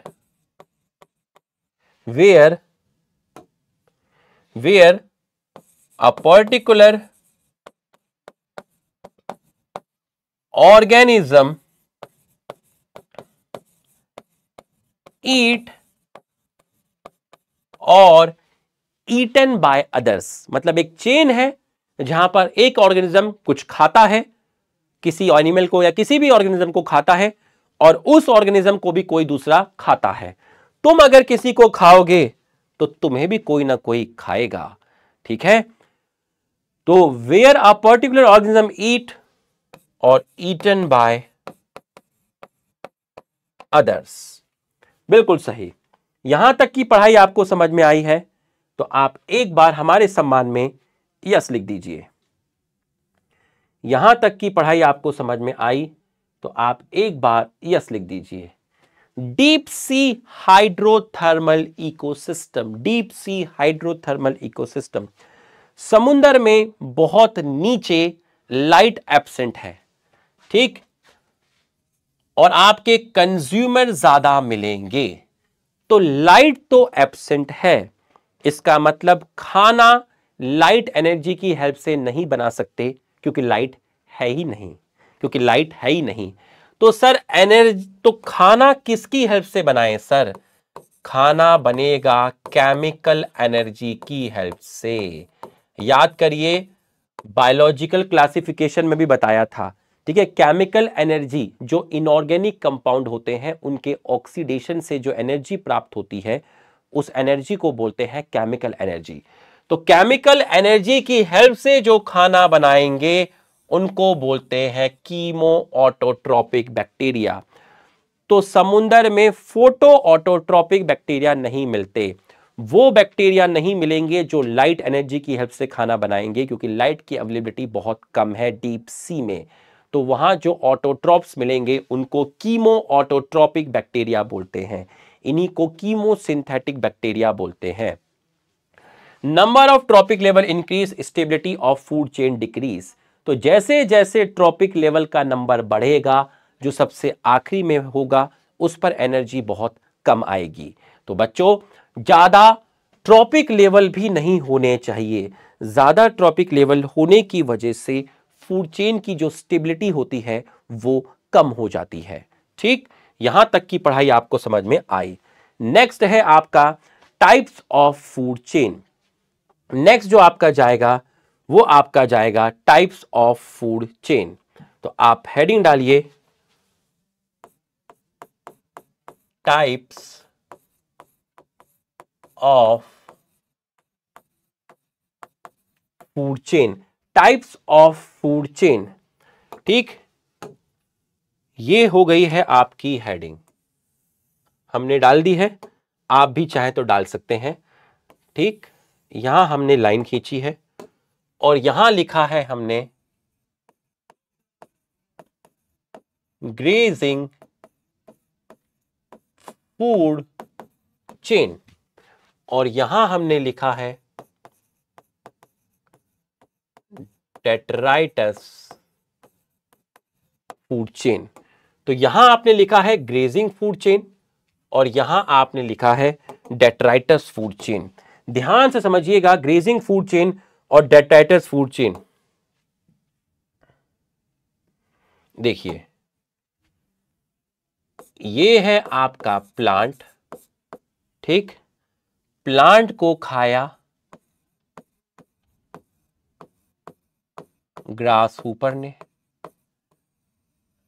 इसको खाया, फ्रॉग ने, फ्रॉग को खाया, स्नेक ने और स्नेक को खाया बर्ड ने। ठीक? तो ये आपका हो गया है। अब आप ध्यान से मेरी बात को समझिएगा।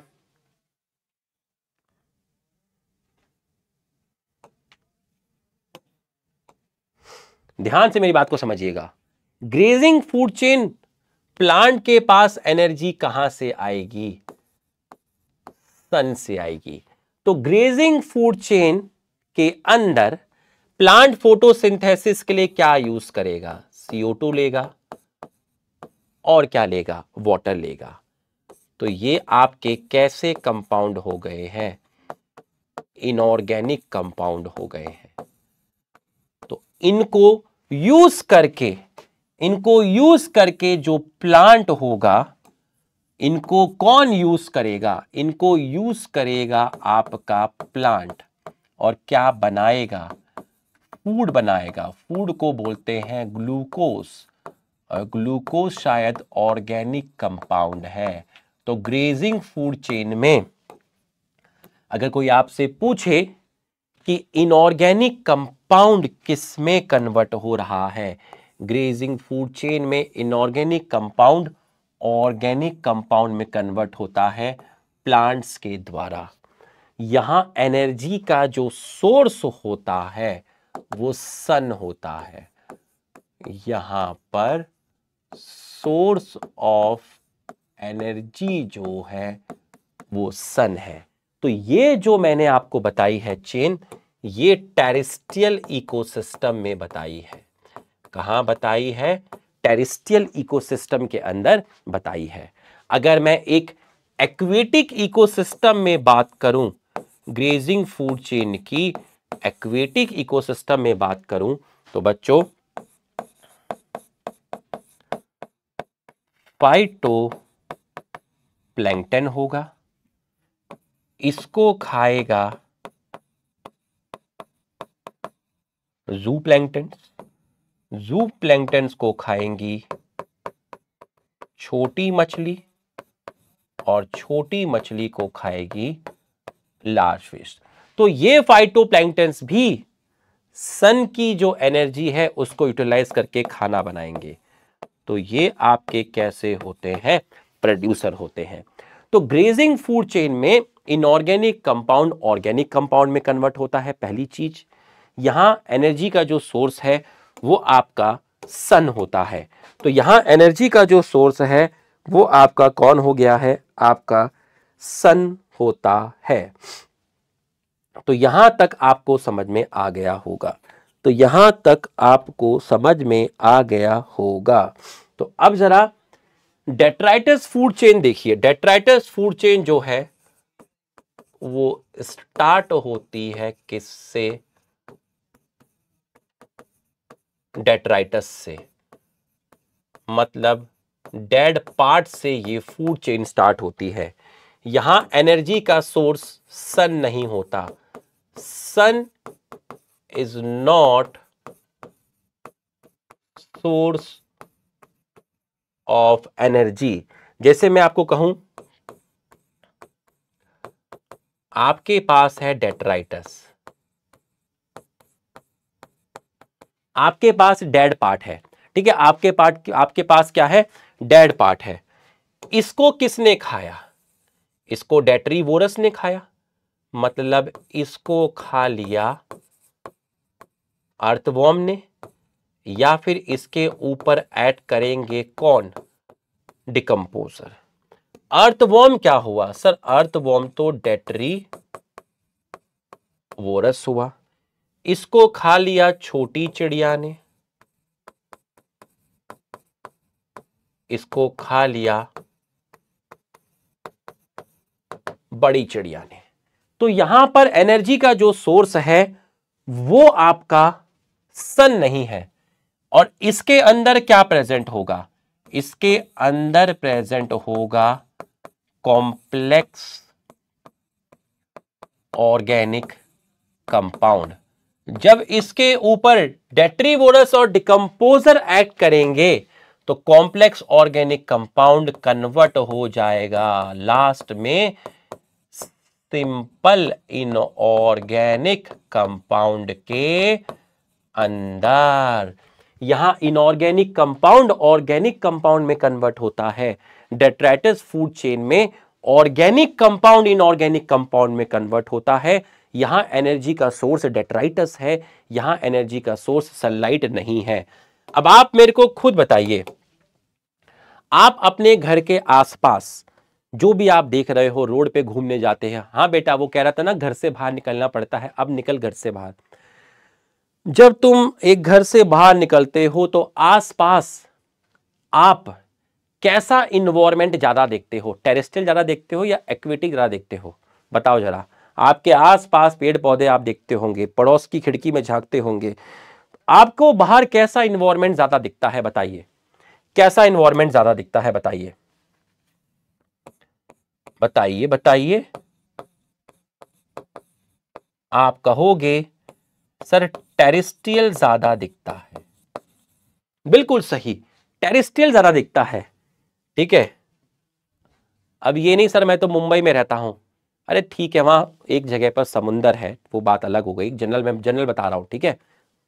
अगर मैं आपको बोलता हूँ कि टेरिस्ट्रियल इकोसिस्टम आपको ज़्यादा दिखता है तो टेरिस्ट्रियल इकोसिस्टम है आपका आसपास तो यहाँ डेट्राइटस भी आपको ज़्यादा दिखेगा।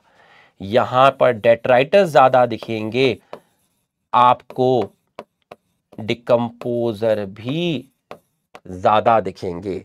तो टेरिस्ट्रियल इकोसिस्टम में आपको इतने पेड़ पौधे आपको डेड पार्ट भी ज़्यादा मिलेगा, डिकम्पोजर भी ज़्यादा मिलेंगे। तो टेरिस्ट्रियल इकोसिस्टम में एनर्जी का जो मेजर फ्लो होगा, major flow of energy in terrestrial ecosystem किस फ़ूड चेन के थ्रू होता है? बताइए जरा। किस फ़ूड चेन के थ्रू? टेरिस्टल इकोसिस्टम में एनर्जी का फ्लो ज़्यादा किस फ़ूड चेन के थ्रू होता है? ग्रेजिंग फ़ूड चेन या डेटराइटस फ़ूड चेन बताइए। बताइए।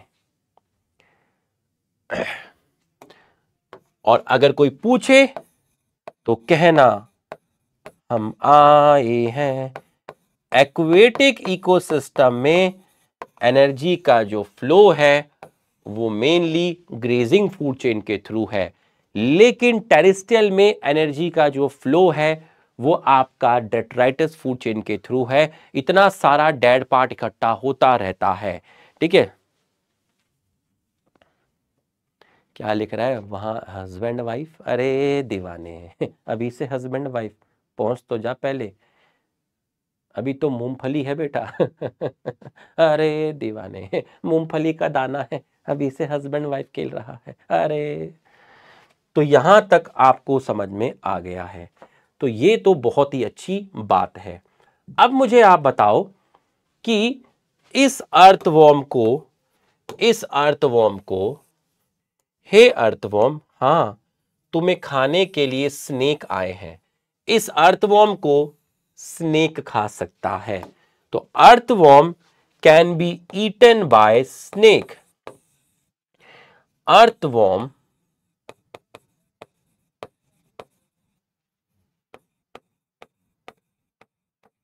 can be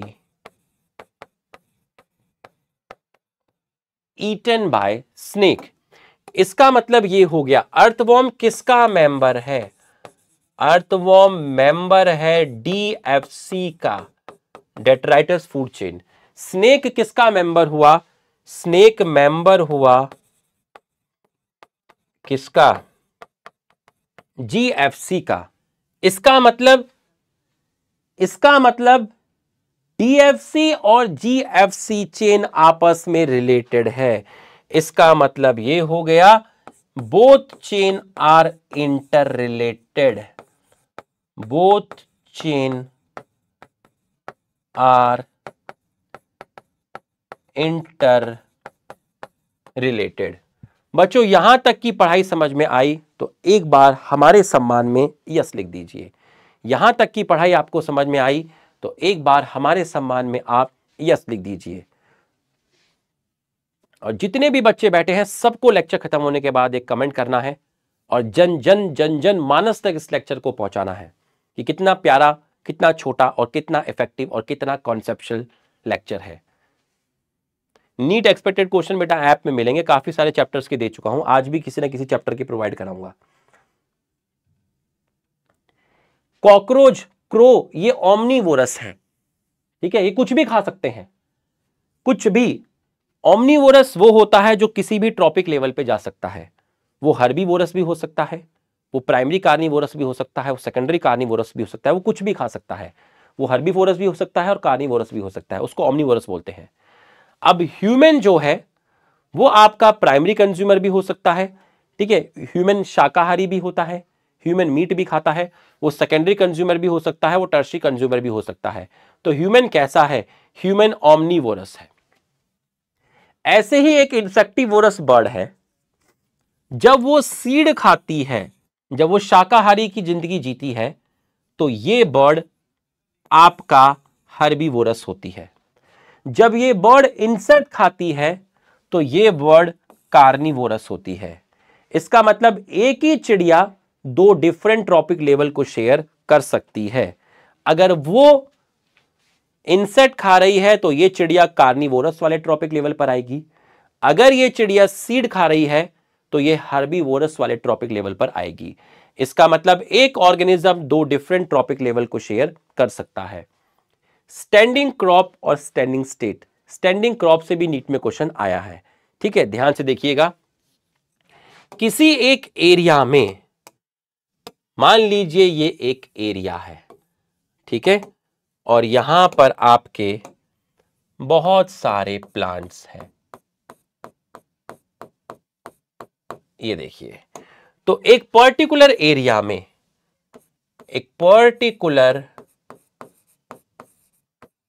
एरिया में, एक पर्टिकुलर टाइम में इन प्लांट्स के द्वारा, ठीक है? एक पर्टिकुलर एरिया में, एक पर्टिकुलर टाइम में इन प्लांट्स का जो टोटल ऑर्गेनिक मैटर होगा, ठीक है? ये जो टोटल ऑर्गेनिक मैटर जिसको आप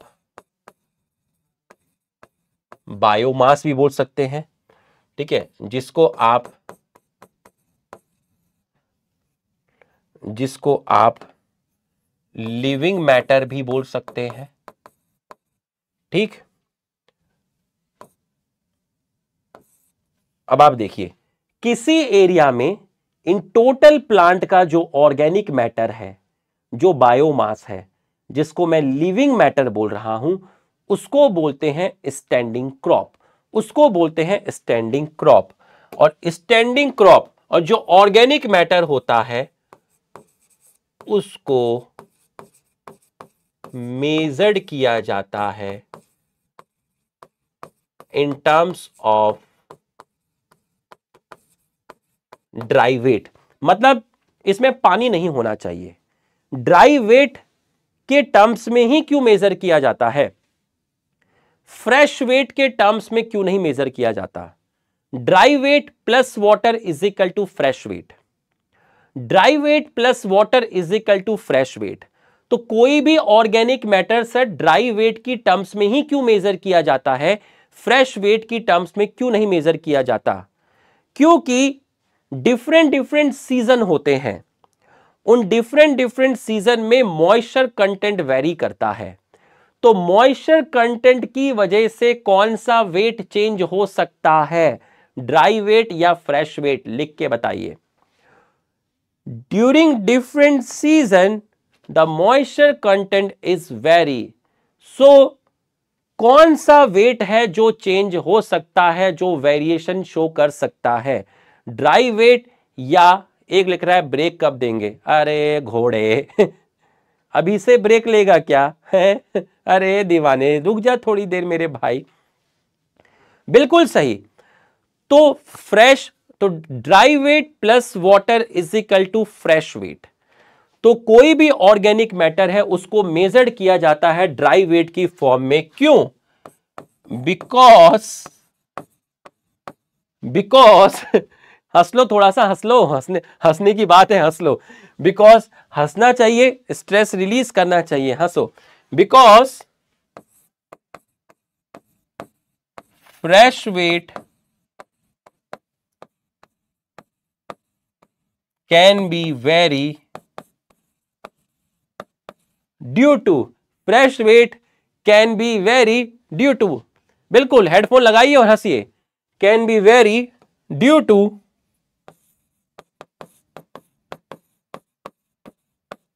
different moisture content ठीक? किसी एरिया पर किसी एरिया पर आपका, किसी एरिया पर यह आपका एक एरिया है, इस एरिया में आपका, यहाँ आपका ऑर्गेनिक मैटर की बात की थी, यहाँ पर आपका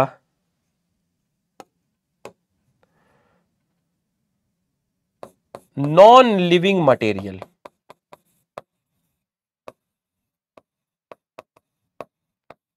एक एरिया में जो आपके नॉन लिविंग मटेरियल प्रेजेंट होते हैं, उसको बोलते हैं स्टैंडिंग स्टेट उसको आप बोलते हैं स्टैंडिंग स्टेट बच्चों, यहाँ तक की पढ़ाई आपको समझ में आई है तो आप एक बार हमारे सम्मान में सभी लोग यस लिख दीजिए। यहाँ तक की पढ़ाई आपको समझ में आई तो आप सब लोग हमारे सम्मान में यस लिख दीजिए। यहाँ तक की पढ़ाई आपको समझ में आई तो आप यस लिख दीजिए। ठीक है। इसको इनऑर्गेनिक मटेरियल भी बोल सकते हैं इनऑर्गेनिक ठीक है? तो यहाँ तक की पढ़ाई आपको समझ में आ गई है। अब हम आगे चलेंगे। तो यहाँ पर ये होमवर्क है आपके लिए। Mollusca, tadpole, mosquito, larva, primary consumer है, रट्टा मार लेना। Toad spider lizard centipedes insectivorous bird hydra frog some fishes secondary consumer है। स्नेक बड़ी मछली टर्शरी कंज्यूमर है। Tiger lion panther falcon peacock top carnivorous है। रट्टा मान लेना। फ़ूड वेब फ़ूड वेब क्या होता है, इसको भी देखिएगा। ठीक है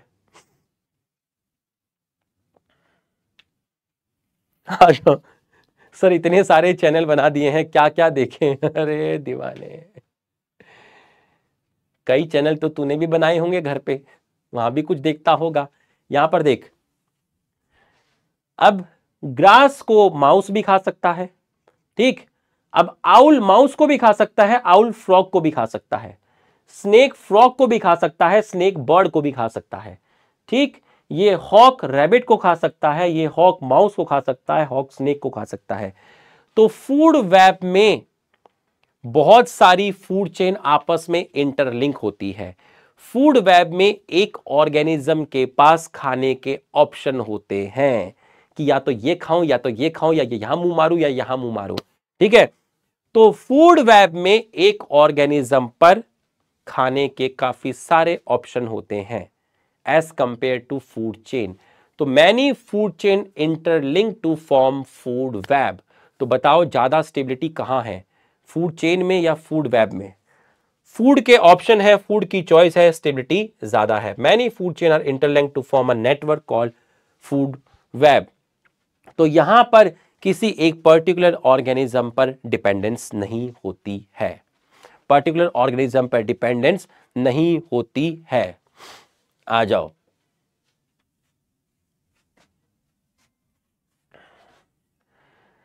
अब लास्ट टॉपिक है इकोलॉजिकल पिरामिड्स लास्ट टॉपिक है आपका इकोलॉजिकल पिरामिड लास्ट टॉपिक है आपका इकोलॉजिकल पिरामिड पूरा फोकस करना एकदम बेसिक से बताऊँगा और इतना खतरनाक पिरामिड कराऊँगा कि आपको तो मज़ा ही आ जाएगा। और इन दी एंड क्या चाहिए? कॉन्सेप्ट चाहिए और कॉन्सेप्ट तो मिल ही रहा है और मज़ा भी मिलेगा। ठीक है, चलिए।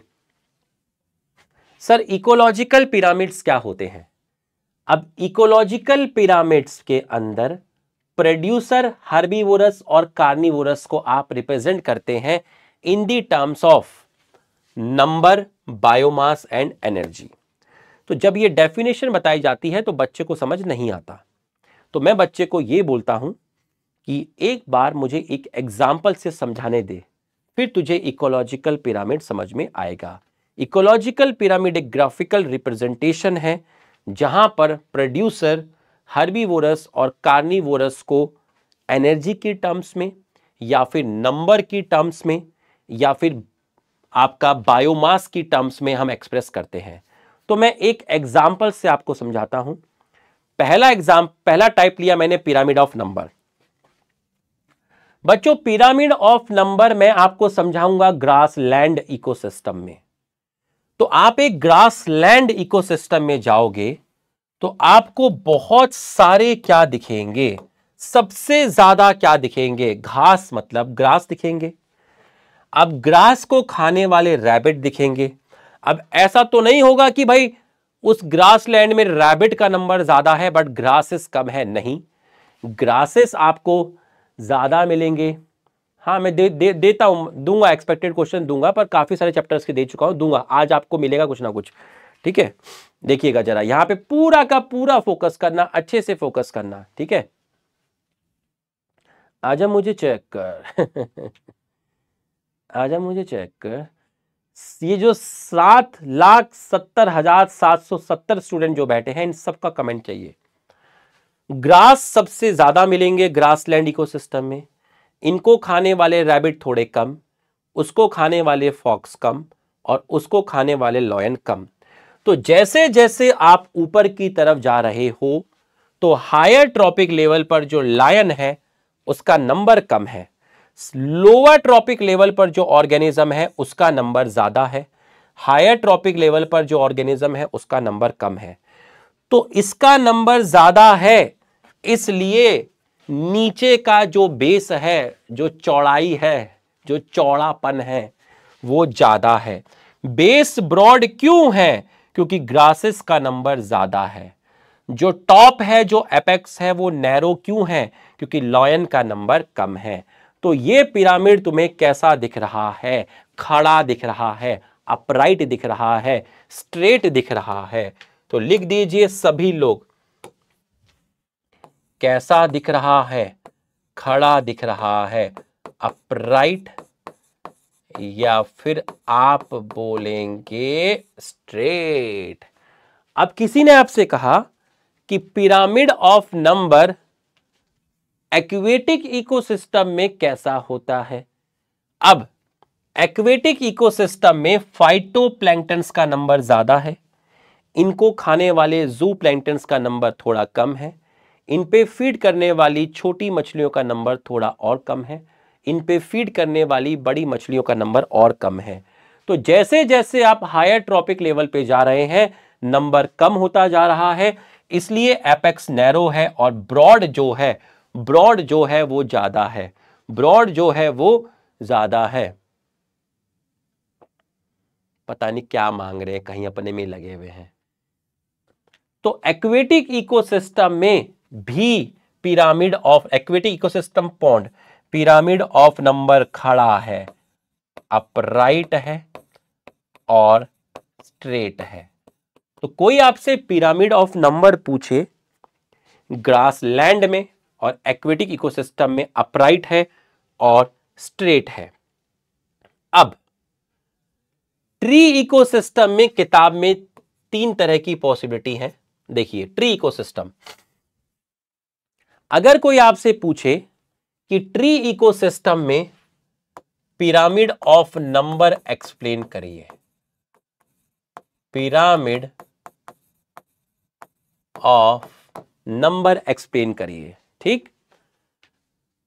ट्री एक पेड़ है जो अकेला खड़ा है। एक पेड़ पे काफ़ी सारी चिड़िया हैं और हर चिड़िया पर काफ़ी सारे पैरासाइट हैं। तो पेड़ तो एक ही है, उन पर सेवरल बर्ड्स हैं, उन चिड़ियों पर बहुत सारे पैरासाइट हैं। इसका मतलब इनका नंबर सबसे ज़्यादा है और पेड़ का नंबर एक है। ये लेस इन नंबर ये मोर इन नंबर तो बच्चों, ये हो गया आपका कैसा लेटा मतलब ये हो गया है इन्वर्टेड ठीक? दूसरा टाइप ट्री इकोसिस्टम में। एक पेड़ है, एक पेड़ पर बहुत सारे सीड खाने वाली चिड़िया हैं। मतलब हर्बीवोरस बर्ड है। ठीक, हर्बीवोरस बर्ड, ट्री है एक, उस पे बहुत सारी हर्बीवोरस बर्ड। हर्बीवोरस बर्ड पर जो, हर्बीवोरस बर्ड को खाने के लिए हॉक हॉक का नंबर लेकिन हर्बीवोरस से कम है।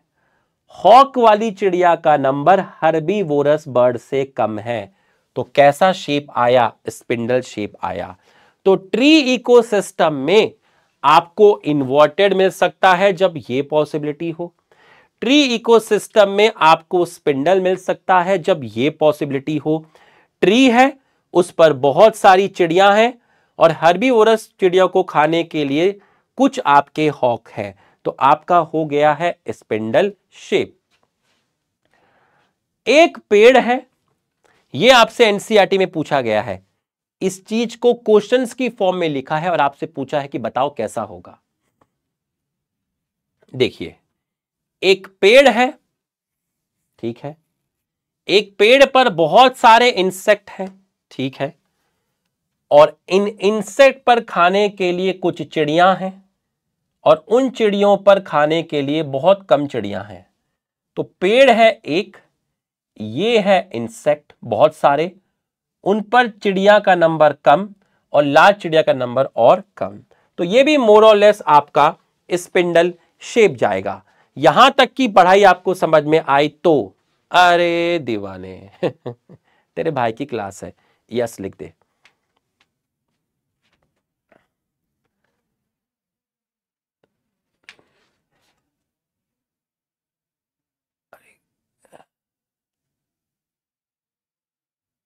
यहाँ तक की पढ़ाई समझ में आई तो यस लिख दे। यहाँ तक की पढ़ाई समझ में आई तो यस लिख दो। ठीक है। अब नेक्स्ट है पिरामिड ऑफ़ एनर्जी। तो बच्चों, नेक्स्ट आपका क्या है? नेक्स्ट है आपका पिरामिड ऑफ़ एनर्जी। तो पिरामिड ऑफ़ एनर्जी में आप देखिए, जब आप एक ट्रॉपिक लेवल से दूसरे ट्रॉपिक लेवल में जाते थे तो एनर्जी आपकी डिक्रीज होती थी। तो एनर्जी डिक्रीज होती थी मतलब यहाँ सबसे ज़्यादा एनर्जी है, यहाँ सबसे ज़्यादा एनर्जी कम है। यहाँ सबसे ज़्यादा एनर्जी है तो जो लोअर ट्रॉपिक लेवल पर होगा, वहाँ एनर्जी सबसे ज़्यादा होगी।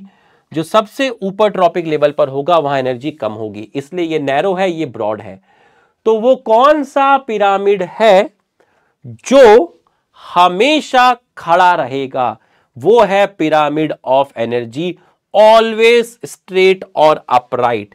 लेकिन pyramid of number usually upright होता है but it can be inverted but it can be inverted तो बच्चों, पिरामिड ऑफ़ नंबर जो होता है, यूजुअली अपराइट होता है। अगर आपसे कोई पूछे कि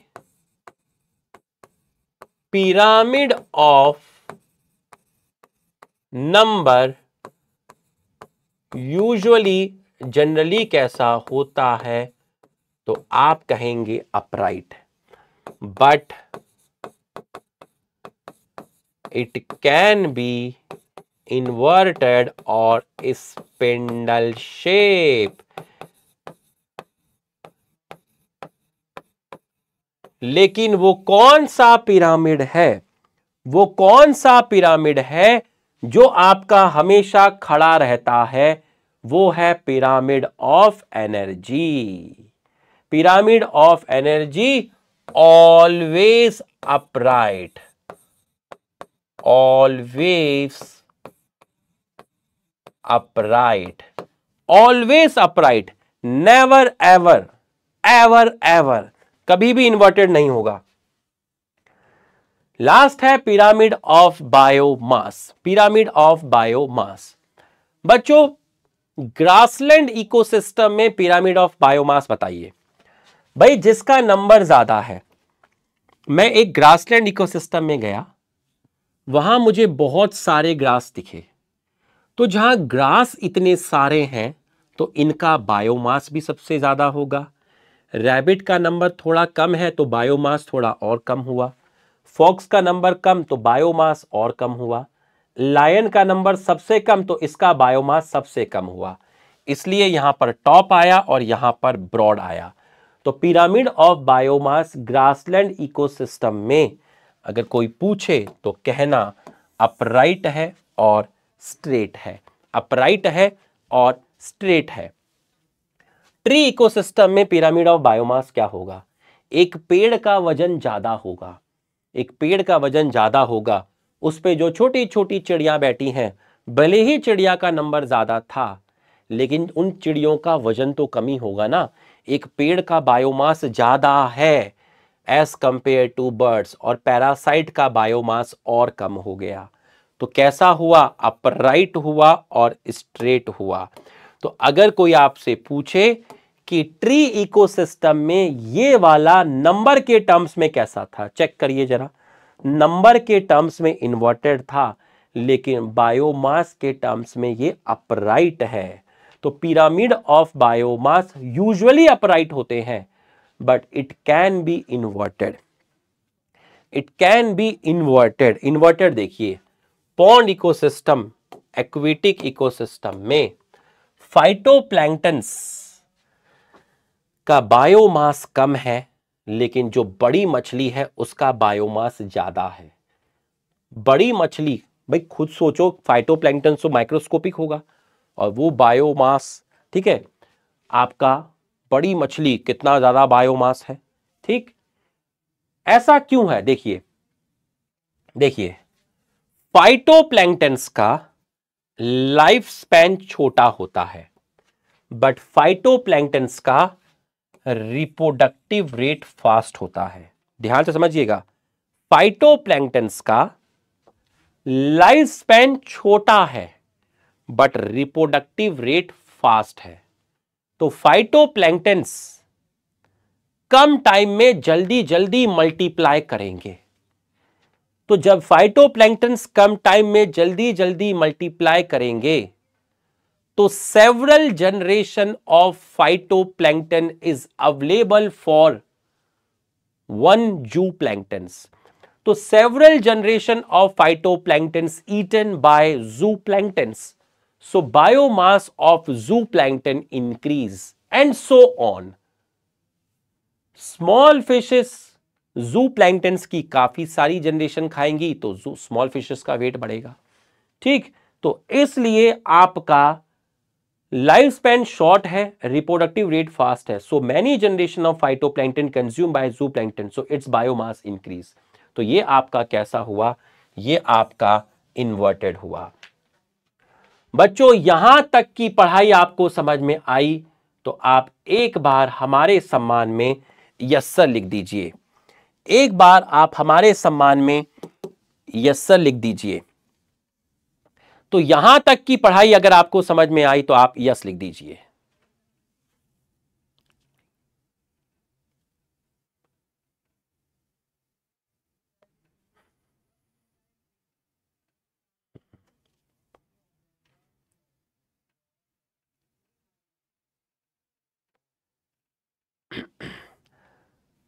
तो बच्चों अब हम इकोसिस्टम के पीवाईक्यू क्वेश्चंस को डिस्कस करेंगे, ठीक है? एक एक करके पूरा डिटेल में हम इसको देखेंगे। तो आइए जरा हम स्टार्ट करते हैं। जीपीपी माइनस आर बच्चों जीपीपी का मतलब होता है ग्रॉस प्राइमरी प्रोडक्टिविटी एक प्लांट सनलाइट को यूज़ करके जो खाना बनाता है टोटल उसको बोलते हैं ग्रॉस प्राइमरी प्रोडक्टिविटी ठीक? लेकिन सारी की सारा फ़ूड सारी की सारी एनर्जी प्लांट के पास अवेलेबल नहीं रहती है, क्योंकि उसमें से कुछ एनर्जी का लॉस हो जाता है रेस्पिरेशन में। तो जो चीज़ बचती है, उसको बोलते हैं नेट प्राइमरी प्रोडक्टिविटी तो आपसे पूछा था कि आर यहाँ पर क्या है? तो आर है आपका respiratory loss Decomposition is a process in which the detritus is degraded into simple substance by microbes.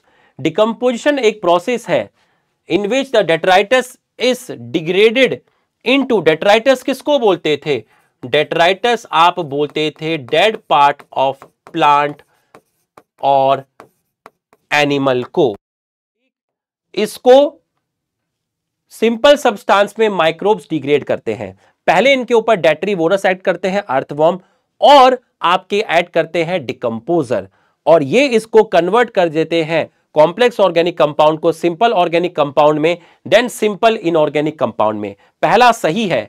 Decomposition is faster if the detritus is rich in lignin नहीं बेटा फास्टर नहीं होगा स्लो होगा। मैंने आपको पढ़ाया था कि अगर लिग्निन और काइटिन होते हैं तो डिकम्पोजिशन का जो रेट होता है, वो आपका स्लो हो जाता है। तो स्टेटमेंट वन इज़ करेक्ट है और स्टेटमेंट टू इज़ इनकरेक्ट है। Detritivorous break down detritus into small particle बच्चों डेट्रीवोरस में एग्ज़ाम्पल क्या था? एग्ज़ाम्पल था अर्थवॉर्म तो डिकम्पोजिशन का जो फ़र्स्ट स्टेप होता है, वो होता है फ्रेगमेंटेशन ऑफ़ डेट्राइटस जिसमें एक लार्ज कॉम्प्लेक्स ऑर्गेनिक कंपाउंड जो है डेट्राइटस डेट्राइटस का जो फ्रेगमेंट साइज़ है वो बड़ा है। उसको छोटे छोटे फ्रेगमेंट्स में तोड़ा जाता है डेट्राइट डेट्रीवोरस के द्वारा। और इस प्रोसेस को आप बोलते हैं फ्रेगमेंटेशन अब इसमें कुछ पार्ट है जो अब आपका नई एनसीआरटी में नहीं रहा। ठीक है तो कुछ उसमें उस तरीके से दिया है। तो आप चाहें तो P A R photosynthetic active radiation capture by plant तो टोटल लाइट जो प्लांट के पास थी less than 50 percent light photosynthesis में अवेलेबल थी और उसमें से भी 2 से 10 परसेंट एनर्जी और लाइट प्लांट उसमें से भी 2 से 10 परसेंट लाइट प्लांट यूटिलाइज करते हैं फ़ूड बनाने में, जिसको आप जीपीपी बोलते हैं। तो बच्चों, इसका आंसर सी से जाएगा फोर्थ ये देखिए। ये आपके सिलेबस में है, ये वाला पोर्शन अब उतना ये देखिए। ठीक है, अब मैं आपसे पूछता हूँ प्रोडक्टिविटी ऑफ़ ओशिन तो डी का आपका जाएगा वन मैंने आपको बताया था, ठीक है डी का आपका जाएगा वन मैंने ओशिन की प्रोडक्टिविटी आपको बताई थी टेरिस्टल की भी मैंने आपको बताई थी, ठीक है, और ए का जाएगा टू ठीक है सेवेंटी परसेंट आपका डिजोल्व है ओशियन में और बी का जाएगा आपका थर्ड तो आपका ऑप्शन जाएगा option fourth Which of the following statement is not correct Pyramid of biomass in C is generally upright. C में अपराइट नहीं होता है बच्चों, आपका inverted होता है। फाइटोप्लैंक्टन्स फाइटोप्लैंक्टन्स को कौन खाएगा? आपका जू प्लैंक्टन्स खाएगा। ठीक है तो ये देखिए, ये है फाइटोप्लैंक्टन्स ये है जू प्लैंक्टन ये स्मॉल फ़िश ये लार्ज फ़िश तो स्ट्रेट नहीं है इन्वर्टेड है। तो ये आपका गलत हो गया। Pyramid of energy always upright correct है? Pyramid of number in grassland ecosystem correct है? ग्रासलैंड इकोसिस्टम में पिरामिड ऑफ़ नंबर जो होता है अपराइट होता है। कैसा होता है? अपराइट होता है। तो आप चाहें तो यहाँ पर देख सकते हैं ग्रासलैंड इकोसिस्टम में ग्रास ज़्यादा होंगे लायन कम होंगे। तो कैसा हुआ? अपराइट हो गया। तो ये आपको समझ में आ गया होगा। In the equation GPP minus R is equal to NPP R R है आपका रेस्पिरेटरी लॉस आर है आपका रेस्पिरेटरी लॉस ठीक, आगे बढ़ते हैं। Match the trophic level with their correct species बच्चों, सबसे आसान आप पकड़ लीजिए ग्रास। ग्रास क्या है? ग्रास है फ़र्स्ट ट्रॉपिक लेवल। तो सी का जाएगा एस सी का जाएगा एस सबसे आसान पकड़िए। काय को रिस्क लें। ग्रास को खाएगा रैबिट तो सेकेंड ट्रॉपिक लेवल आपका जाएगा बी का आर बी का आर जब दो मिल गए हैं तो बाकी दो आ ही जाएँगे। तो आपका जाएगा option fourth option fourth in relation to, आप देखिए प्रोडक्टिविटी पे कितने क्वेश्चन हैं। प्रोडक्टिविटी एंड डिकम्पोजिशन बहुत इंपॉर्टेंट है, ठीक है? In relation to gross primary productivity and net primary productivity of equal system which are the following स्क्रेड gross primary productivity is always more than net primary productivity. बिल्कुल सही है बच्चों। क्योंकि क्योंकि N P P plus respiratory loss is equal to GPP तो GPP total energy जो NPP से ज़्यादा ही होगी, ये करेक्ट है। Gross primary productivity and net productivity one and same ये आपका गलत हो गया, दोनों सेम नहीं होती हैं अलग अलग होती हैं। There is no relationship between gross primary productivity and net primary productivity आप रिलेशन देख सकते हैं रिलेशन है, ये गलत हो गया। Gross primary productivity is always less than the net primary productivity नहीं। लेस नहीं है आपका, ये आपका मोर हो गया है। ठीक है? और ऑलवेज भी नहीं बोलेंगे हम। अब एक टॉपिक होता था इकोलॉजिकल सक्सेशन ठीक है? जो अभी आपको पढ़ाया नहीं जाता है।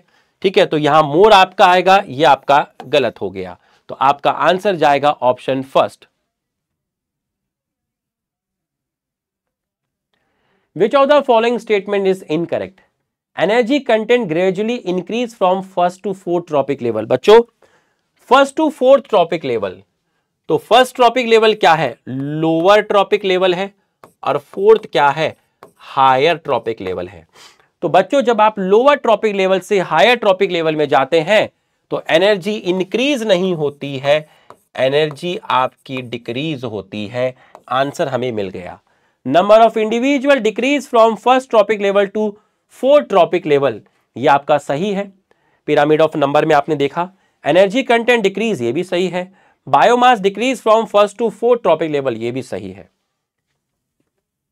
The rate of decomposition is faster बताइए।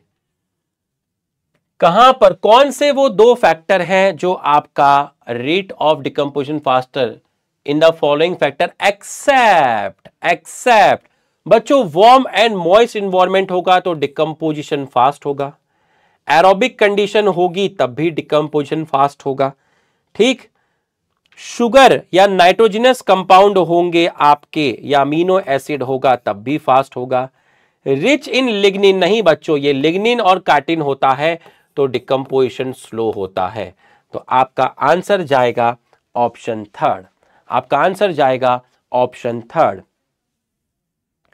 which one of the following ecological pyramid is generally inverted कौन सा पिरामिड है जो आपका जनरली क्या है? इन्वर्टेड है। बच्चों पिरामिड ऑफ़ एनर्जी आपको पढ़ाया था। ऑलवेज खड़ा। Always upright pyramid of number in grassland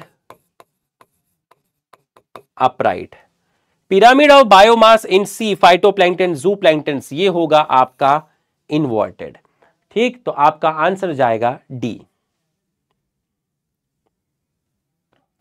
which type of ecological pyramid would obtain with the following data बच्चों प्राइमरी प्रोड्यूसर आपका प्राइमरी प्रोड्यूसर सबसे नीचे वाला का वज़न सबसे कम है, टेन ग्राम है। फिर वज़न और बढ़ गया, सिक्सटी ग्राम। फिर वज़न और बढ़ गया, वन ट्वेंटी ग्राम। तो आप देखिए इन्वर्टेड है। और इन्वर्टेड कहाँ मिलता है? इन्वर्टेड पिरामिड बायोमास ठीक है, आपका एक्वेटिक इकोसिस्टम भी आप बोल सकते हैं तो आपका आंसर जाएगा option first which ecosystem has maximum biomass ठीक है, बताइए जरा which ecosystem has maximum biomass क्या आंसर आपका जाएगा? Which ecosystem has maximum biomass lake है पॉन्ड है ग्रासलैंड है फॉरेस्ट है। बताइए, सबसे ज़्यादा बायोमास आपका कहाँ मिलेगा? सबसे ज़्यादा आपका मिलेगा फॉरेस्ट इकोसिस्टम में। तो सबसे ज़्यादा आपका जो मिलेगा, वो मिलेगा आपका फॉरेस्ट इकोसिस्टम के अंदर। ठीक है? Presence of plant arrange in a well defined vertical layering depending on their height can be seen in बताइए। क्या जाएगा? प्रेजेंस ऑफ़ प्लांट जहाँ आपको बहुत अच्छी डाइवर्सिटी मिलेगी। कहाँ पर आपको एक बहुत अच्छी तरीके से डाइवर्सिटी मिलेगी? कहाँ आपको बहुत अच्छे से स्ट्रेटिफिकेशन मिलेगा? बताइए। Tropical savanna tropical rain forest grassland कहाँ मिलेगा? ट्रॉपिकल रेन फॉरेस्ट के अंदर डाइवर्सिटी अच्छी होती है तो यहाँ आपको बढ़िया सारी की सारी चीज़ें मिल जाएँगी। फिर आप आगे चलेंगे। The primary producer of the deep sea hydrothermal vent बच्चों डीप सी हाइड्रोथर्मल वेंट वो रीजन थे जहाँ पर लाइट की अवेलेबिलिटी नहीं थी। इसका मतलब वहाँ पर ऑटोट्रॉप्स फ़ोटो ऑटोट्रॉप्स नहीं मिलेंगे। क्योंकि जब लाइट ही नहीं है फ़ोटो ऑटोट्रॉप्स वहाँ नहीं मिलेंगे।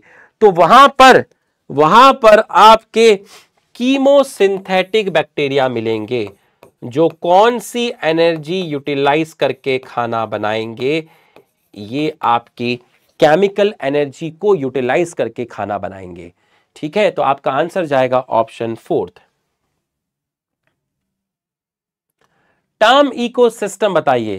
टर्म इकोसिस्टम दी थी आपके टेंसले ने ठीक है टर्म इकोसिस्टम दी थी आपके टेंसले साहब ने। Which one of the following is characteristic feature of cropland ecosystem cropland ecosystem कैसा इकोसिस्टम था? बच्चों मैनमेड इकोसिस्टम था। बताया था। और मैनमेड इकोसिस्टम के अंदर आपकी जो जेनेटिक डाइवर्सिटी होती है, बताया था, वो बहुत कम मिलेगी। क्योंकि एक नेचुरल इकोसिस्टम में डाइवर्सिटी ज़्यादा मिलती है। तो लीस्ट जेनेटिक डाइवर्सिटी ऑप्शन जाएगा आपका second in an ecosystem the rate of production of organic matter during photosynthesis आप देखिए प्रोडक्टिविटी और डिकम्पोजिशन से क्वेश्चन ज़्यादा हैं। अच्छे से पढ़ के जाना बेटा इस टॉपिक को। ठीक है? अच्छे से पढ़ के जाना इस टॉपिक को। ठीक है?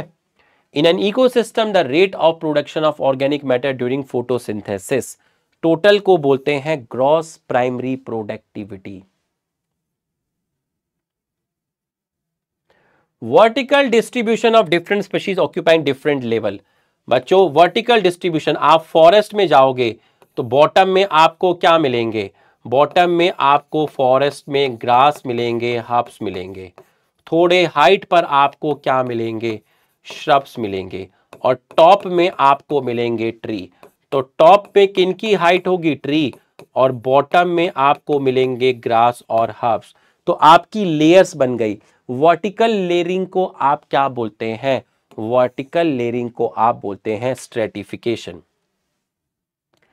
the mass of living material at a trophic level बच्चों लिविंग मटेरियल की बात की है. At a trophic level at a particular time तो अगर मैं ऑर्गेनिक मैटर की बात करूँ या बायोमास की बात करूँ या लिविंग मटेरियल की बात करूँ या ड्राई वेट की बात करूँ ऑर्गेनिक मैटर की बात करूँ बायोमास की बात करूँ लिविंग मटेरियल की बात करूँ तो आप स्टैंडिंग क्रॉप बोलते हैं। अगर मैं इनऑर्गेनिक पार्ट की बात करूँ, किसी एरिया पर, है ना, किसी आपके घर के पीछे एक एरिया है, उस एरिया में कितना इनऑर्गेनिक मटेरियल है, इसको स्टैंडिंग स्टेट बोलते हैं। कितना ऑर्गेनिक पार्ट है, इसको स्टैंडिंग क्रॉप बोलते हैं। Most animal that live in deep oceanic water. ठीक है, डीप ओशियन के अंदर आपके ज़्यादातर मिलेंगे डेटरी वोरस डीप ओशियन में आपके कंज्यूमर ज़्यादा मिलेंगे। ठीक है, वहाँ फोटोसिंथेसिस करने वाले लोग कम मिलेंगे, वहाँ लाइट कम आती है तो वहाँ कंज्यूमर ज़्यादा मिलेंगे, वो लोग मरेंगे तो उनके ऊपर ऐड करने वाले डेटरी वोरस आपके ज़्यादा मिलेंगे।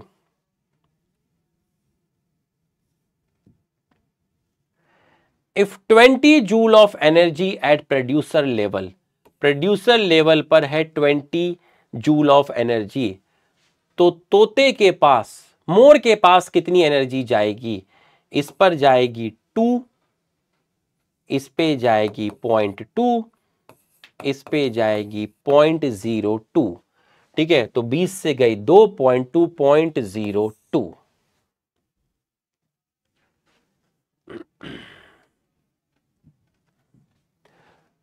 तो बच्चों, आपको कैसा लगा?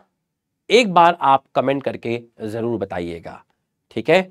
और पढ़ाई करते रहिएगा, स्ट्रेस बिल्कुल भी मत लीजिएगा, समय बहुत कम रह गया है, ठीक है? अच्छे से पढ़ाई करिए, ईश्वर पर विश्वास रखिए, स्ट्रेस बिल्कुल मत लीजिएगा, जो भी होगा अच्छा ही होगा, ईश्वर ने आपके लिए अच्छा ही सोचा है, आप सिर्फ़ मेहनत करते रहिएगा, ठीक है? और बाकी सब आप ईश्वर पे छोड़ दीजिए मैं मानता हूँ कि समय अब थोड़ा कम रह गया है, लेकिन आप बिल्कुल भी परेशान नहीं होइएगा, अपनी हेल्थ का ख्याल रखिएगा। ठीक है? Thank you so much